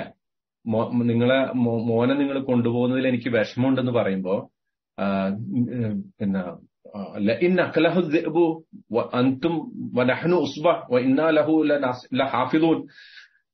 അദ്ദേഹത്തെ ഈ യൂസുഫിനെ യൂസുഫിനെ ചെന്നായി പിടിക്കുകയോ അതെങ്ങനെ സംഭവിക്കുക? ഞങ്ങൾ ഇത്രയും വലിയൊരു സംഘം ഉണ്ടല്ലോ. അല്ലെ പന്ത്രണ്ട് ബ്രദേഴ്സ് നല്ല എന്തിനും പോകുന്ന തടിമാടന്മാരുണ്ടല്ലോ ഞങ്ങൾ. അങ്ങനെ ഇരിക്കെ എങ്ങനെ യൂസുഫിനെ ചെന്നായ പിടിക്കും? അപ്പോ യൂസുഫിനെ കൊണ്ടുപോകണ്ട എന്ന് പറയുമ്പോ കൊണ്ടുപോകാൻ ഉള്ള ന്യായമായിട്ട് അവർ പറയുന്നത് ഞങ്ങൾ തടിമാടന്മാരാണ്. ഞങ്ങൾ വലിയൊരു സംഘമാണ്. എന്ന് പറഞ്ഞാൽ വാപ്പയോട് തർക്കിക്കാണ് അവർ. കുതർക്കം പറയാണ്. എന്തിനാണ് ആ കുതർക്കം പറയുന്നത്? അവരുടെ ആ പദ്ധതി ഗൂഢ പദ്ധതി നടപ്പാക്കാൻ വേണ്ടിയിട്ട്. യൂസുഫ് നബി അലൈഹി ഇസ്ലാമെ ഇല്ലായ്മ ചെയ്യാനുള്ള കൊന്നുകളയാനായിരുന്നു അവരുടെ പ്ലാൻ പക്ഷെ അവസാനം കിണറ്റിലിട്ടു. അപ്പോ അങ്ങനെയാണ് യൂസുഫ് നബിയുടെ സഹോദരന്മാർ ചെയ്യുന്നത് പക്ഷെ മൂസാ നബിയുടെ സിസ്റ്ററോ അവർ പറയുന്നത് അവർ ഒരു അർത്ഥത്തിലും ഉമ്മയോട് ഒരു തിരിച്ചു വർത്താനവും പറയുന്നില്ല. വാസ്തവത്തിൽ അവർക്ക് ഒരുപാട് പറയാമായിരുന്നു അല്ലെ? നമ്മൾ ആലോചിച്ച് നോക്കിയേ. മൂസാ നബിയുടെ സഹോദരിക്ക് മൂസാ നബിയുടെ ഉമ്മയോട് മോളെ നീ കുസീഹി എന്ന് പറഞ്ഞല്ലോ. സ്റ്റെപ്പ് ബൈ സ്റ്റെപ്പായിട്ട് ഈ കുട്ടിയെ നീ പിന്തുടരണം. പോണം അതിന്റെ പിന്നാലെ പോണം എന്ന് പറഞ്ഞപ്പോ ഉമ്മ എന്തായി പറയുന്ന? ഒരു പുഴയിൽ കുട്ടീനെ ഒഴുക്കിയിട്ട്. ആ പുഴയിൽ ഞാൻ പോണമെന്ന് പറഞ്ഞാൽ എനിക്ക് നീന്താൻ അറിയോ? ചോദിക്കാലോ? ഞാൻ ഒരു പെൺകുട്ടിയല്ലേ. ഞാൻ എങ്ങനെ പോവാ? എന്ന് ചോദിക്കാലോ? മൂസാ നബിയുടെ സഹോദരിക്ക്. പക്ഷെ അവർ ഷീ നെവർ ടോക്ക് ബാക്ക് ഒരു ഒരു നിലക്കും അവരെന്ത് ചെയ്യുന്നില്ല? തിരിച്ചൊരു വർത്തമാനം പറയുന്നില്ല. എന്ന് മാത്രമല്ല വളരെ ശാന്തമായിട്ട് ഉമ്മ എന്താണോ പറഞ്ഞത് അത് പിന്തുടരണം. ഉമ്മയുടെ വാക്കിന്റെ അർത്ഥം മനസ്സിലാക്കിയിട്ട് അവർ ബാക്കിയൊക്കെ അവർ സ്വന്തം നിലയ്ക്ക് ചെയ്യണം. സ്വന്തം ബുദ്ധി ഉപയോഗിച്ചിട്ട് സ്വന്തം മെച്യൂരിറ്റി പ്രകടിപ്പിച്ചിട്ട് അവരത് ചെയ്യണം. അവർ നേരത്തെ ഞാൻ പറഞ്ഞ പോലെ സ്ട്രീറ്റ് സ്മാർട്ടാണ് ആ കുട്ടി. അവർ ആ ജോബ് എന്താണോ അവളോട് കൽപ്പിച്ചത് ആ ജോബ് കൃത്യമായി ചെയ്തിട്ട് പിന്നാലെ ഒറ്റ വാചകമാണ് മൂസാ നബിയുടെ ഉമ്മ ആ കുട്ടിയോട് പറഞ്ഞത്. എന്ത്? കുസ്സീഹി. അതിനെ പിൻപറ്റണം. പക്ഷെ ആ കുട്ടി എന്ത് ചെയ്തു? അതിനെ പിൻപറ്റി എന്ന് മാത്രമല്ല സൈഡിൽ കൂടെ നോക്കി കൊട്ടാരത്തിന്റെ അടുത്ത് പോയി കാത്തു നിന്നു. അവർ കൊട്ടാരത്തിലെ ആളുകൾ അതിനെടുക്കുന്നത് നോക്കി നിന്നു. അതിനുശേഷം ഇതൊക്കെ ചെയ്യുന്നത് ആരും അറിയാതെ. എന്ന് മാത്രമല്ല അവസാനം ആ കുട്ടിയുടെ കുട്ടിക്ക് മുല കൊടുക്കാൻ പറ്റിയ ഒരാളെ അന്വേഷിച്ച് രാജ കൊട്ടാരത്തിലെ പരിചാരികമാര് പുറത്ത് എത്തുന്നത് വരെ അവിടെ കാത്തുനിന്നു എന്നിട്ട് അവരോട് പറഞ്ഞു ഇങ്ങനെ ഒരു കുടുംബമുണ്ട്. ആ കുടുംബത്തെ ഞാൻ അറിയിച്ചു തരട്ടെ എന്ന് പറഞ്ഞു. എന്ന് മാത്രമല്ല മൂസാ നബിയെ ഉമ്മയുമായി സന്ധിക്കുന്നത് വരെ ആ കുട്ടി അത് ചെയ്തു. അപ്പോ മാതാപിതാക്കൾ പറയുന്നത് എന്താണെന്ന് മനസ്സിലാകാനുള്ള ഒരു കഴിവ് മക്കളിൽ ഉണ്ടാകണമെന്നുള്ളതാണ്. മാതാപിതാക്കൾക്ക് എന്താണ് വേണ്ടത്? അവർ ചിലപ്പോ നമ്മളോട് ചിലത് പറയുന്നത് ഒറ്റ വാചകമായിരിക്കും പറയുന്നത്. മോം വിളിക്കാറില്ലല്ലോ എന്ന് പറയുമ്പോ നമ്മൾ മനസ്സിലാക്കേണ്ടത് മോൻ വിളിക്കാത്തതിൽ ഉമ്മക്ക് വലിയ വിഷമമുണ്ടെന്നാണ്. അതിന്റെ അർത്ഥം എല്ലാ ദിവസവും മോൻ ഇനി വിളിക്കണമെന്നാണ്. മോൾ ഇവിടെ ഗൾഫിൽ ജീവിക്കുമ്പോ അല്ലെ? ചിലപ്പോ അങ്ങനെ പറയും മോൻ ഇന്നലെ എന്തേ വിളിക്കാഞ്ഞെന്ന് ചോദിക്കുമ്പോ അതിന്റെ പിന്നിൽ വേറെ ഒരുപാട് അർത്ഥങ്ങളുണ്ട്. മോൻ ഇന്നലെ വിളിക്കാത്തതുകൊണ്ട് ഞാൻ വല്ലാതെ വിഷമിച്ചിട്ടുണ്ട്. മോൻ എല്ലാ ദിവസവും ഇതേ സമയത്ത് വിളിക്കണം എന്ന മെസ്സേജ് ഉണ്ട്. എന്റെ കാര്യങ്ങൾ മോൻ അന്വേഷിക്കണം എന്ന മെസ്സേജ് ഉണ്ട്. ഇങ്ങനെ ഇങ്ങനെ ഒരുപാട് മെസ്സേജ് ആയിരിക്കും മാതാപിതാക്കൾ നമ്മൾ പറയുന്ന നമ്മളോട് പറയുന്ന ഒറ്റ വാചകത്തിൽ ഉണ്ടാവുക അത് മനസ്സിലാക്കാൻ കഴിയുക എന്നുള്ളതാണ്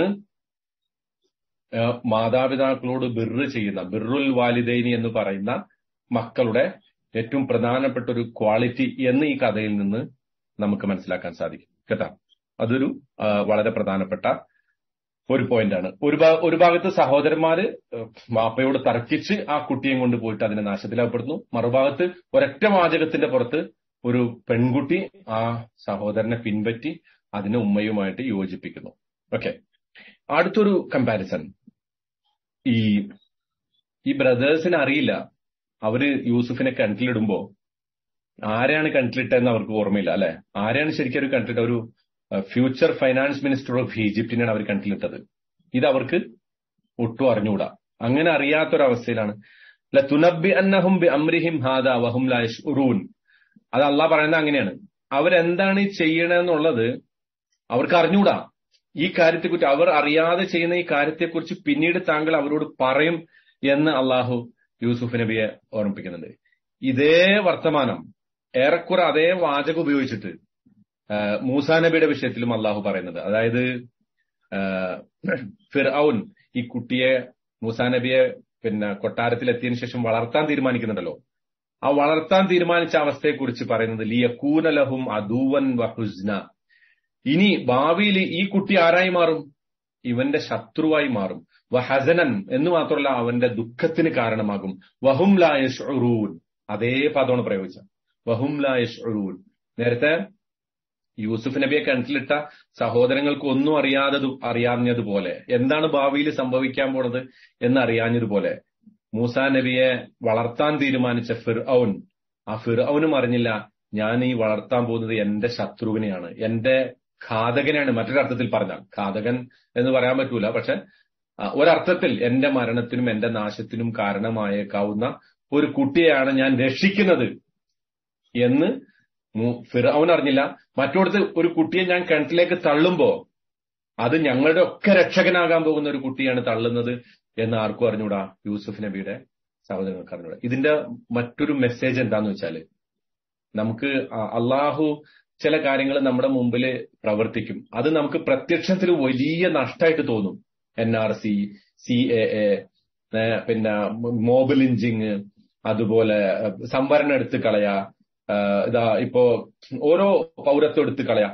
ഇതൊക്കെ ഇങ്ങനെ മറ്റുള്ളവർ ഗൂഢാലോചനയൊക്കെ നടത്തുമ്പോ നമ്മൾ വിചാരിക്കും ഇത് ഇത് പ്രത്യക്ഷത്തിൽ ഭയങ്കരമായിട്ട് നമുക്ക് പ്രയാസം ഉണ്ടാക്കുന്ന ഒരു സംഗതിയാണ് പ്രശ്നം ഉണ്ടാക്കുന്ന ഒരു സംഗതിയാണെന്ന് വിചാരിക്കും. പക്ഷെ അതിന്റെ പിന്നിൽ അള്ളാഹുവിന് മറ്റൊരു യുക്തി ഉണ്ടായേക്കാം. അള്ളാഹുവിന്റെ ആ യുക്തിയെ കുറിച്ച് നമുക്ക് പ്രത്യേകിച്ച് യാതൊരു ധാരണയും ഇല്ലാത്ത ഒരവസ്ഥയിൽ നമ്മൾ ഒരു പക്ഷേ ജീവിക്കേണ്ടി വന്നേക്കാം. ഇത് വളരെ പ്രധാനപ്പെട്ട ഒരു സംഗതിയാണ് എന്നുള്ളതാണ് ഓക്കെ?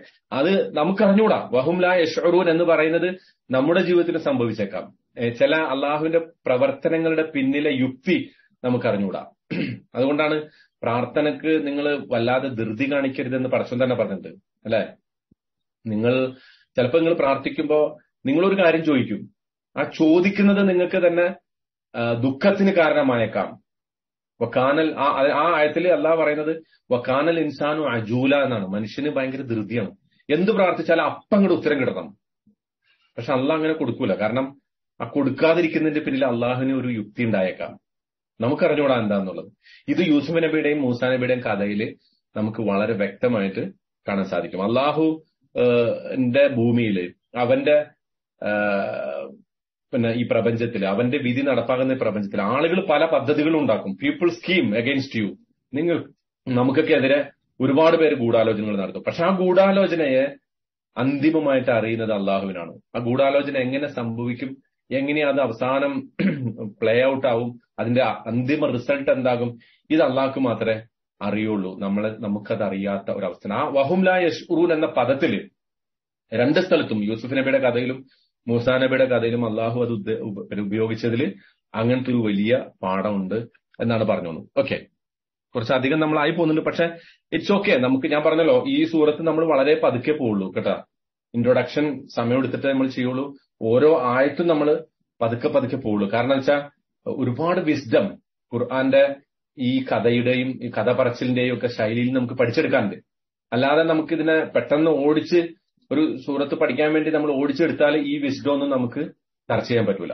ഓക്കെ നിങ്ങൾക്ക് അതിനടുക്ക് ഇടയ്ക്ക് ഈ പറയുന്ന കാര്യത്തിൽ എന്തെങ്കിലുമൊക്കെ ഡൗട്ട്സ് ഉണ്ടെങ്കിൽ ഇടയ്ക്ക് തന്നെ ചോദിച്ചോളൂ കേട്ടോ. നിങ്ങൾ അൺമ്യൂട്ട് ചെയ്ത് ചോദിച്ചോളൂ. ഏറ്റവും അവസാനം വരെ കാത്തിരിക്കണമെന്നില്ല. ഞാൻ പറയുന്നത് മൊത്തം അങ്ങനെ തന്നെ നിങ്ങൾ വിഴുങ്ങണമെന്നില്ല. ഓഫ് കോഴ്സ് നിങ്ങൾക്ക് എന്തെങ്കിലുമൊക്കെ സംശയങ്ങൾ ഈ പറയുമ്പോൾ ഉണ്ടാവും. അപ്പം ഒന്നുകിൽ ചാറ്റ് ബോക്സിൽ ചോദിക്കാം. അതല്ലെങ്കിൽ നിങ്ങൾക്ക് അൺമ്യൂട്ട് ചെയ്തിട്ട് സംസാരിക്കാം. ആർക്കും ഹോസ്റ്റ് ഉണ്ട്. അഥവാ ആർക്കെങ്കിലും അൺമ്യൂട്ട് ചെയ്യാൻ പറ്റിയിട്ടില്ലെങ്കിൽ ഹോസ്റ്റ് അത് ചെയ്തു തരും. ഓക്കെ കൈ ഉയർത്തിയാൽ മതി. ഹാൻഡ് റൈസ് ചെയ്താൽ മതി. ഓക്കെ ഇനി നോക്കൂ.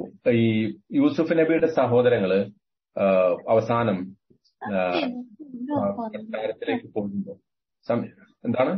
ഇവിടെ ഇങ്ങോട്ടാണോ? ആ അല്ല ഓക്കെ ഈ കൊട്ടാരത്തിലേക്ക് പോകുമ്പോ യഹൂബ് നബി പറയുന്നുണ്ട് മക്കളെ നിങ്ങൾ ഒരു ഒറ്റ വാതിലൂടെ പോകരുത് ലാ തദ്ഖുലു മിൻ ബാബിൻ വാഹിദിൻ വദുഖുലു മിൻ അബ്വാബിൻ മുത്തഫർറിഖ നിങ്ങൾ ഒരുപാട് മറ്റ് വ്യത്യസ്ത വാതിലുകളിലൂടെ പോവുക അതായത് ഒരു സംഘമായിട്ട് പോയിട്ട് എല്ലാവരുടെ അറ്റൻഷൻ നിങ്ങളിലേക്ക് കിട്ടുന്ന ഒരു അവസ്ഥ ഉണ്ടാവരുത് എന്ന് പറയുന്നുണ്ട്.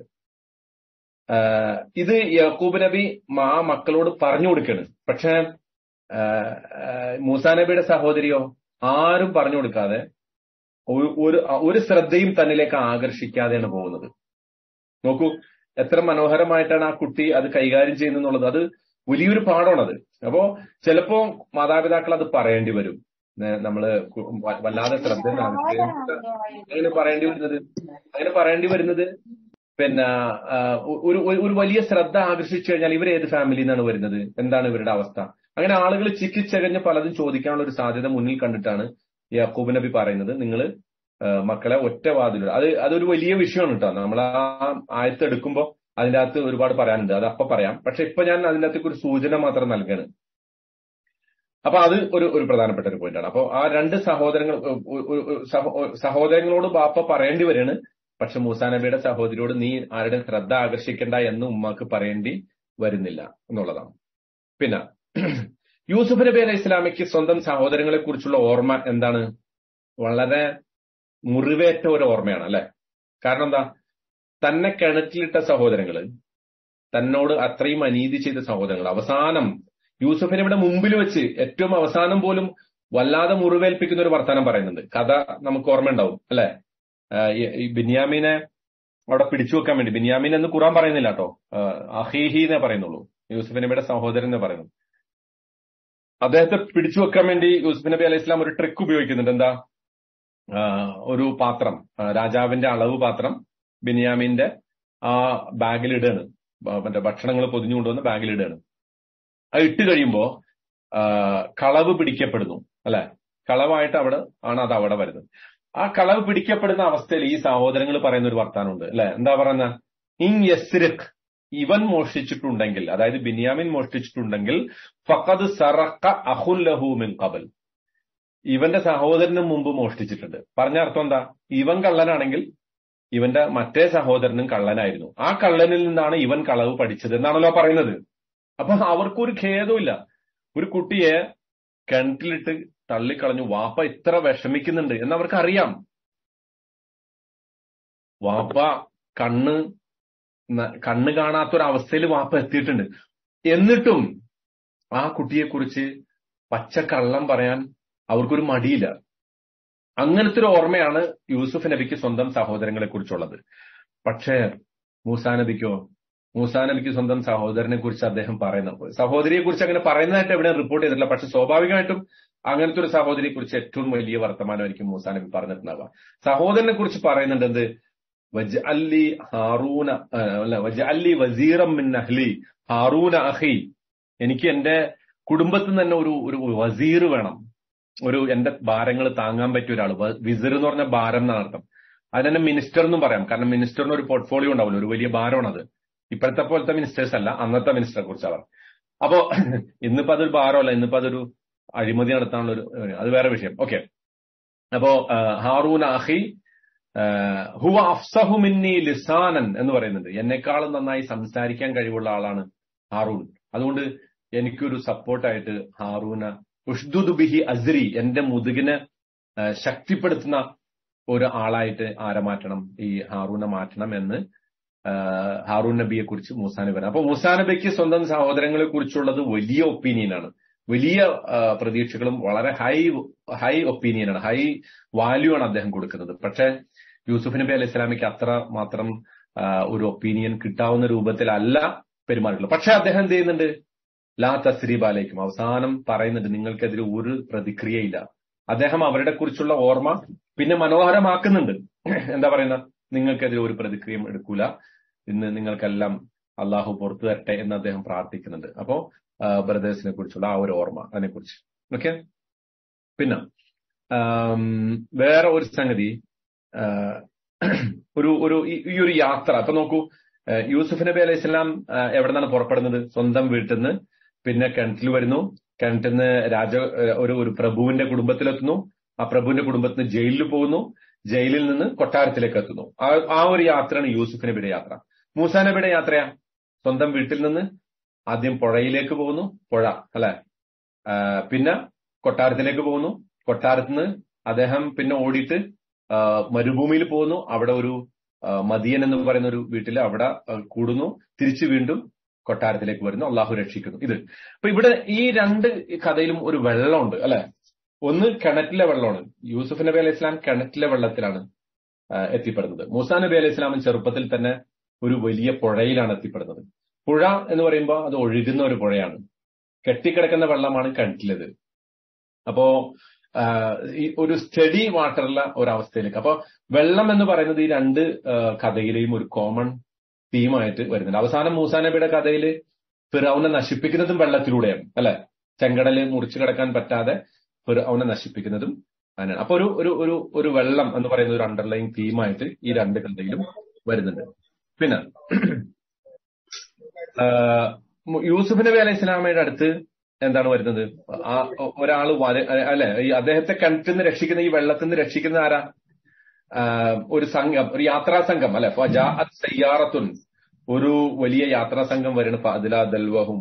അങ്ങനെ അവർ അവരുടെ ബക്കറ്റ് ആ കിണറ്റിലേക്ക് ഇടുമ്പോ പിന്നെ ഇതൊക്കെ ഇതൊക്കെ എവിടെന്നെങ്കിലും കിട്ടിയ കമ്പാരിസൺ ആണോ എന്നാണ് ചോദിക്കുന്ന ഒരു ചോദ്യം. തഫീമിൽ തഫീമിൽ വന്നതോ അല്ലെങ്കിൽ ഏതെങ്കിലും തഫ്സീറിൽ വന്നതോ അല്ല വേറെ പല പല സോഴ്സുകളിൽ നിന്നായിട്ട് എടുത്തതാണ്. പല സോഴ്സുകളിൽ നിന്നായിട്ട് എടുത്ത ഒരു കമ്പാരിസൺ ഈ കമ്പാരിസനെ കുറിച്ച് നമ്മളത് പിന്നെ ഇതൊരു ഓതന്റിക് ആയിട്ട് ഖുർആൻ പറഞ്ഞ ഒരു കമ്പാരിസൺ ആയിട്ട് നിങ്ങൾ മനസ്സിലാക്കേണ്ടതില്ല. മറിച്ച് നമുക്ക് ഓരോരുത്തർക്കും ഖുർആാനിനെ വിശാലമായി പഠിക്കുമ്പോൾ അഗാധമായി പഠിക്കുമ്പോൾ നമുക്ക് പല സോഴ്സുകളിൽ നിന്നും ഇങ്ങനെ കിട്ടും. ഒരുപാട് തഫ്സീറുകൾ ഉണ്ടല്ലോ പല തഫ്സീറുണ്ട്. അപ്പൊ ഞാൻ അതുകൊണ്ട് ഒറ്റൊരു തഫ്സീർ ഡിപ്പെൻഡ് ചെയ്യുന്ന ആളല്ല.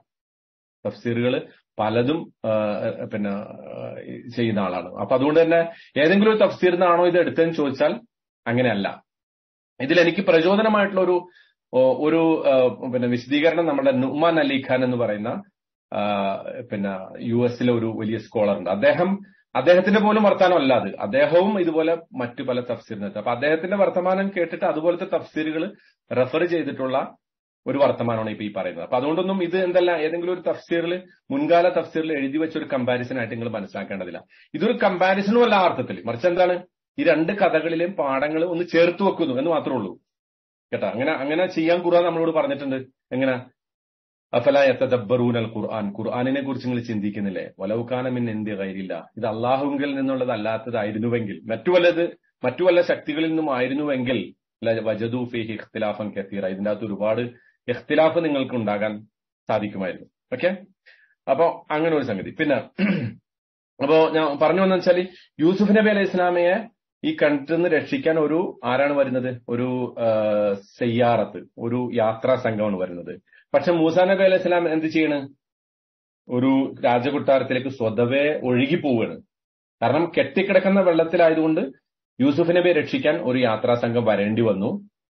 പക്ഷെ മൂസാ നബി അലൈഹി സ്വലാം ഒഴുകുന്ന ഒരു വെള്ളത്തിലായതുകൊണ്ട് അദ്ദേഹം രാജകൊട്ടാരത്തിലേക്ക് എത്തിപ്പെടുകയാണ് ചെയ്യുന്നത്. കേട്ടോ? ഓക്കെ. അതൊരു പോയിന്റ് പിന്നെ കച്ചവട സംഘം പെട്ടെന്ന് മൂസാ നബി അലൈ യൂസുഫ് നബി അലൈഹി സ്വലാമെ ഒഴിവാക്കി. ചെറിയ ചെറിയൊരു ദീർഘം കൊടുത്തിട്ട് ഒഴിവാക്കുകയാണ്. പക്ഷെ മുസാ നബി അലൈഹി ഇസ്ലാം രാജകൊട്ടാരത്തിൽ ഈജിപ്ഷ്യൻ രാജകൊട്ടാരത്തിൽ വളരെ വിശാലമായ സൗകര്യങ്ങളോടുകൂടി ജീവിക്കുകയാണ്. പിന്നെ വേറെ ഒരു സംഗതി. യൂസുഫ് നബി അലൈഹി സ്വലാം എത്തിപ്പെടുന്ന ഒരു അസീസിന്റെ ഒരു കൊട്ട പിന്നെ അന്നത്തെ രാജാവിന്റെ ഒരു മന്ത്രിയുടെ വീട്ടിലേക്കാണ് എത്തുന്നത്. മുസാ നബി അലൈഹി സ്വലാം നേരെ ഒരു റോയൽ പാലസിലേക്കാണ് എത്തുന്നത്. ഓക്കെ? അവിടെ പിന്നെ ഇവരുടെ രണ്ടു പേരുടെയും യജമാനന്മാർ തമ്മിൽ ഒരു കമ്പാരിസൺ ഉണ്ട്. അതായത് യൂസുഫ് നബി അലൈഹി സ്വലാം എത്തിപ്പെടുന്നത് ഈ പ്രഭുവിന്റെ കുടുംബത്തിലാണെങ്കിലും ആ പ്രഭുവിന്റെ ഭാര്യയാണ് യൂസുഫ് നബി അലൈഹി സ്വലാമയുടെ ഒരു ഒരു പ്രൊട്ടക്ടറോ അല്ലെങ്കിൽ ഒരു ഒരു ബെനവലന്റ് ആളായിട്ട് വരുന്നത്. അതേസമയം അപ്പൊ ആ പിന്നെ പ്രഭു കൽപ്പിക്കുകയാണ് ഭാര്യയോട് അല്ലെ? അക്രിമി മസ്വാഹു ഇവന് നല്ല താമസ സ്ഥലം കൊടുക്കണം. ഫാനാവുനത്തഹിദഹു വലത ഇവൻ നമുക്ക് ഉപകാരപ്പെട്ടേക്കാം. അതുപോലെ അല്ലെങ്കിൽ നമുക്കൊരു കുട്ടിയായിട്ട് അഡോപ്റ്റ് ചെയ്യാം എന്ന് പറയുന്നത്. ഇതേ സംഗതി അപ്പുറത്തും ആവർത്തിക്കുന്നുണ്ട്. മുസാ നബി അലൈഹി സ്വലാമയുടെ കഥയിലും അത് ആവർത്തിക്കുന്നുണ്ട്. എന്താ സംഭവിക്കുന്നത് ഈ മുസാ നബി അലൈഹി സ്വലാമ കൊട്ടാരത്തിലേക്ക് എത്തുമ്പോ രാജാവ് ഇവനെ കൊല്ലാനാണ് ശരിക്കും. ഫിറൌൻ യൂസുഫ് മൂസാ നബി അലൈഹി ഇസ്ലാമെ കൊല്ലണം എന്ന അഭിപ്രായമാണ്. പക്ഷെ അവിടെ മൂസാ ഈ ഫിറൌനിന്റെ ഭാര്യയാണ് ആവശ്യപ്പെടുന്നത് എന്ത്? ലാ തഖ്തുലൂഹു ഇവനെ കൊല്ലേണ്ടതില്ല. അതേ വർത്താനം. അവിടെ പ്രഭുവിൻ പ്രഭുവാണ് ആ വർത്താനം പറയുന്നത്. എന്ത്? ഭാര്യയോട് പറയണം. പ്രഭു തന്റെ ഭാര്യയോട് പറയാണ് ഇവന്റെ നല്ല താമസ സ്ഥലം ഒരുക്കണം. ഇവൻ നമുക്ക് ഉപകാരപ്പെട്ടേക്കാം അല്ലെങ്കിൽ നമുക്ക് കുട്ടിയായിട്ട് അഡോപ്റ്റ് ചെയ്യാം. ഈ മൂസാനബിയുടെ കഥയിൽ അത് പറയുന്നത് ആരാ? ഫിറൌനിന്റെ ഭാര്യയാണ്. അവനോട് പറയാണ് ലാ തഖ്തുലുഹു കൊല്ലരുത്. അസാ അയ്യം ഫാന ഉനത്തഹിദഹു വലത അദ്ദേഹത്തെ നമുക്ക് ഉപകാരപ്പെടാപ്പെട്ടേക്കാം അല്ലെങ്കിൽ നമുക്കൊരു കുട്ടിയായിട്ട് അഡോപ്റ്റ് ചെയ്യാം. ഓക്കെ അപ്പോ അഡോപ്ഷനും സർവീസും രണ്ടിലും വരുന്നുണ്ട്. വാസ്തവത്തിൽ അവസാനം യൂസുഫ് നബി ഒരു സെർവന്റ് ആയിട്ട് മാറുന്നു. മൂസ നബി ഒരു അഡോപ്റ്റഡ് റോയൽ ചൈൽഡ് ആയിട്ട് മാറുന്നു. രണ്ടും രണ്ട് ഓപ്ഷനും അവിടെ ഉണ്ടെങ്കിലും സംഗതി സംഭവിക്കുന്നത് യൂസുഫ് നബി ഒരു സെർവന്റ് ആയിട്ട് മാറുന്നു. അവിടെ ഒരു വേലക്കാരനായിട്ടാണല്ലോ മാറുന്നത്. പക്ഷെ മൂസ നബിയോ ഒരു കുട്ടി ഒരു റോയൽ ഫാമിലിയിലെ മെമ്പറെ പോലെ അവിടുത്തെ ഒരു കുട്ടിയായിട്ടാണ് വളരുന്നത്. ഓക്കെ പിന്നെ ഒരു ഒരു ഒരു സ്നേഹം ഒരു ലവ് എന്ന് പറയുന്ന ഒരു കൺസെപ്റ്റ് ഉണ്ട് ഇവിടെ. അത് എങ്ങനെയാ വെച്ചാൽ മൂസ യൂസുഫ് നബിയുടെ കഥയിൽ വരുന്നത് ഒരു ചീത്ത സ്നേഹമാണ്. ആർക്ക്? പ്രഭുവിന്റെ ഭാര്യക്ക് മൂസാന നബി- യൂസുഫ് നബിയോട് തോന്നുന്ന ഒരു സ്നേഹം. ആ സ്നേഹം എന്തല്ല? നല്ല ഉദ്ദേശത്തിലുള്ള സ്നേഹമല്ല. മറിച്ച് അതൊരു മോശം ഒരു ടോക്സിക് ലവ് ആണ്. ഒരു വിഷം പുരട്ടിയ സ്നേഹമാണ് അത് വരുന്നത്. അവസാനം അവരുടെ പേഴ്സണൽ ആവശ്യങ്ങൾക്ക് അദ്ദേഹത്തെ ഉപയോഗപ്പെടുത്താനുള്ള ഒരു സ്നേഹം. പക്ഷെ ഫിർഔൻ അവസാനം മൂസാ നബിയെ സ്നേഹിക്കുന്നുണ്ട്. ആ സ്നേഹം അള്ളാഹു അതിനെക്കുറിച്ച് പറയുന്നത് അൽ അൽഖൈത്തു അലൈക്ക മഹബത്തം മിന്നി. എന്റെ പക്കൽ നിന്നുള്ള ഒരു സ്നേഹം ഞാൻ ഇട്ടു തന്നു എന്നാണ്. അതിന്റെ അർത്ഥം ഫിർഔന്റെ മനസ്സിൽ മൂസാ നബിയോട് തോന്നിയ സ്നേഹം അള്ളാഹു തോന്നിച്ചതാണ് എന്നുള്ളതാണ്. കാരണം അവസാനം ഈ പിന്നെ ഒരു ഘട്ടത്തിൽ മൂസാ നബി നബിയായിട്ട് തിരിച്ചു വരുമ്പോ തിരിച്ചു വരുന്ന ഘട്ടത്തിൽ ഫിർഔൻ ചോദിക്കുന്നുണ്ട് അലം നുറബി കഫീന ഉമുറൻ? ഞങ്ങളുടെ കൂട്ടത്തിൽ നീ വളരെ എല്ലാ സ്നേഹപരിലാളനകളും ആസ്വദിച്ച് നീ വളർന്നില്ലേ എന്ന് ചോദിക്കുന്നുണ്ട് ഫിർഔൻ മൂസ മൂസാ നബി അലൈഹി ഇസ്ലാമയോട് അപ്പോ നല്ല സ്നേഹമൊക്കെ അനുഭവിച്ച് വളർന്നിട്ട് ഇപ്പൊ ഞങ്ങൾക്കെതിരെ പറയാണോ എന്നാണ് ആ ചോദ്യം. നേരെ മറിച്ച് മറ്റേ കഥയിൽ ഒരു സ്നേഹം ആ സ്നേഹം എന്ന് പറയുന്നത് ഒരു വൺ സൈഡ് ആയിട്ടുള്ള സ്നേഹമാണ് അതൊരു ടോക്സിക് ലവ് ആണ് എന്ന് നമുക്ക് അവിടെയും കാണാൻ സാധിക്കും. ഓക്കെ? പിന്നെ നമ്മൾ ഇത് ഇന്നത്തെ ഇത് അവസാനിക്കുകയാണ് പിന്നെ കുറച്ച് കാര്യങ്ങൾ കൂടി ഉണ്ട്. പക്ഷെ ഇൻഷാല്ല നമുക്ക് നമ്മുടെ സമയം ഏറെക്കുറെ ഇവിടെ തീർന്നിരിക്കുകയാണ്. കുറച്ച് കാര്യങ്ങൾ നമ്മൾ ഇൻഷാല്ല അടുത്ത ഒരു ക്ലാസ്സിൽ ഇൻട്രൊഡക്ഷൻ ഞാൻ പറഞ്ഞതുപോലെ തുടരും. കാരണം ഇതിന്റെ കഥ ഈ കഥ എന്ന് പറയുന്നത് വെറും ഒരു കഥ മാത്രമല്ല. ഇതിന്റെ അകത്ത് ഒരുപാട് പാഠങ്ങളുണ്ട് നമുക്ക്. ആ പാഠങ്ങളെ കൃത്യമായി ഉൾക്കൊള്ളണമെങ്കിൽ സൂറത്ത് യൂസുഫിനെ ആ അർത്ഥത്തിൽ നമുക്ക് വളരെ വിശദമായി മനസ്സിലാക്കണമെന്നുണ്ടെങ്കിൽ ഈ താരതമ്യവും ഈ കഥയും ഈ പാരമ്പര്യവും അതായത് മൂസാ നബി അലൈഹി ഇസ്ലാമയുടെ സംഭവങ്ങൾ മനസ്സിലാക്കിക്കൊണ്ട് മാത്രമാണ് യൂസുഫ് നബി അലൈഹി ഇസ്ലാമയുടെ കഥയിലൂടെ നമുക്ക് പോകാൻ സാധിക്കുള്ളൂ. അപ്പോഴാണ് ഖുർആാനിനെ നമുക്കൊരു ഒരു കൊഹറന്റ് സംഗതിയായിട്ട് ഒരു ഒരു പരസ്പര ബന്ധമുള്ള ഒരു ഒരു കഥ പറച്ചിലായിട്ടും ഒരു ആശയപ്രകാശനമായിട്ട് നമുക്ക് കാണാൻ സാധിക്കാം. അപ്പോൾ ഒരു കുറച്ച് സമയം വേണമെങ്കിൽ നമുക്ക് എന്ത് ചെയ്യാം സംശയങ്ങൾ വേണമെങ്കിൽ നിങ്ങൾക്ക് അത്തരം സംശയങ്ങൾ വല്ലതും ഉണ്ടെങ്കിൽ ഈ പറഞ്ഞതിലോ അതല്ലെങ്കിൽ ഇനി പറയാനിരിക്കുന്നതിലോ ഒക്കെ വല്ല വല്ല സംശയങ്ങളുണ്ടെങ്കിൽ അത് ചോദിക്കാവുന്നതാണ് കേട്ടാ ഷാള്ള അല്ല വെക്കേഷൻ തുടങ്ങാറായില്ല? അപ്പൊ എങ്ങനെയാണ് ഇനി ക്ലാസ് ഉണ്ടാവുക? എങ്ങനെയാ വെക്കേഷൻ തുടങ്ങാറായില്ലേ? നമ്മൾ ഒരു ക്ലാസ് കൂടി ഇൻഷാല്ല ഒരു ഒരു ക്ലാസ് കൂടി ഉണ്ടാവും. അടുത്ത തിങ്കളാഴ്ച കൂടി നമ്മൾ ക്ലാസ് നടത്തും. ഇൻഷാല്ല അതിനുശേഷം പിന്നെ കുറച്ചൊരു ബ്രേക്ക് നമ്മൾ എടുക്കും. മിക്കവാറും ആളുകൾ ഗൾഫിലുള്ള ആളുകളുടെ അവസ്ഥ വെച്ചിട്ട് ഒരു ബ്രേക്ക് വേണമല്ലോ. അപ്പോ ഞാൻ ഇരുപത്തി മൂന്നാം തീയതി നാട്ടിൽ പോകുന്നുണ്ട്. അത് കഴിഞ്ഞ് ജൂലൈ മുപ്പതിനാണ് തിരിച്ചെത്തുക. അപ്പോ നാട്ടിൽ വെച്ച് ക്ലാസ് എടുക്കുക എന്ന് പറയുന്നത് ചിലപ്പോൾ പ്രാക്ടിക്കൽ ആയിക്കൊള്ളുന്നില്ല. അപ്പൊ നമ്മൾ മിക്കവാറും ആ സമയത്ത് ബ്രേക്ക് ചെയ്യും. ഇൻഷാല്ല കേട്ടാ? ഓക്കെ. അപ്പോ മറ്റു ചോദ്യങ്ങൾ വല്ലതും ഉണ്ടോ? ഇൻഷാല്ല മകന്റെ നിക്കാഹുണ്ട് ഓഗസ്റ്റ് ആറിന്. ആണോ? ആ. നാട്ടിൽ വെച്ചാണ്? നാട്ടിൽ വെച്ചാണ്. എല്ലാരെയും ഔദ്യോഗികമായിട്ട് ക്ഷണിക്കുന്നു. ടൗൺ ഹാളിൽ നിന്നാണ്. തലശ്ശേരി ആ ഓക്കെ. നിക്കാഹ് ഇൻഷാല്ല സൗകര്യമുള്ളവരൊക്കെ പങ്കെടുക്കുക നമ്മൾ ആരും തലശ്ശേരി എത്തുക എന്നുള്ളത് അറിഞ്ഞൂടാ. പറ്റുകയാണെങ്കിൽ എത്തിപ്പെടും ഇൻഷാല്ല സാധിക്കാം. ഇൻഷാല്ല ഓക്കെ അപ്പൊ ശരി നമുക്ക് വൈൻഡ് അപ്പ് ചെയ്യാം. അള്ളാഹു സുബാനു താല പരിശുദ്ധ ഖുർആൻ മനസ്സിലാക്കുകയും അത് ജീവിതത്തിൽ പകർത്തുകയും ചെയ്യുന്ന ആളുകളുടെ കൂട്ടത്തിൽ നാം ഇവരെയും ഉൾപ്പെടുത്തി അനുഗ്രഹിക്കുമാറാകട്ടെ. വിശുദ്ധ ഖുർആാനിന്റെ ഈ ഒരു വലിയ അമൂല്യമായ പാഠങ്ങൾ അത് എത്ര നമ്മൾ അന്വേഷിച്ചാലും എത്ര എക്സ്പ്ലോർ ചെയ്താലും നമുക്ക് എവിടെയും എത്തിപ്പെടാൻ സാധിക്കാത്ത അത്ര വിപുലമാണ്. അതുകൊണ്ട് തന്നെ അതിനെ അത് പഠിക്കാനുള്ള ഒരു നമ്മളുടെ ഒരു പ്രചോദനം അത് അല്ലാഹു എന്നെന്നും നിലനിർത്തി തരുമാറാകട്ടെ. കൂടുതൽ കൂടുതൽ മനസ്സിലാക്കാനുള്ള ഒരു കഴിവ് അള്ളാഹു നമുക്ക് എല്ലാവർക്കും നൽകി അനുഗ്രഹിക്കുമാറാകട്ടെ. നമ്മൾ എത്ര ഖുർആാനിന് സമയം ചെലവഴിക്കുന്നു അത്രയും നമുക്കതൊക്കെ അനുഗ്രഹമായിട്ട് മാറും. നമ്മുടെ ജീവിതത്തിൽ അതിന്റെ പ്രകടമായ ഫലങ്ങൾ ഉണ്ടാകും ഈ ഒരു വിശ്വാസത്തോടു കൂടി ഖുർആനെ സമീപിക്കാൻ അള്ളാഹു സുബാന താല നമ്മെ എല്ലാവരെയും അനുഗ്രഹിക്കുമാറാകട്ടെ. വാഹൃദാന അലഹമുല്ലാഹി റബുൽ ആലമീൻ. വാത്തു വലൈക്കും അസ്സലാം വറഹ്മത്തുള്ളാഹി വബറകാതുഹു.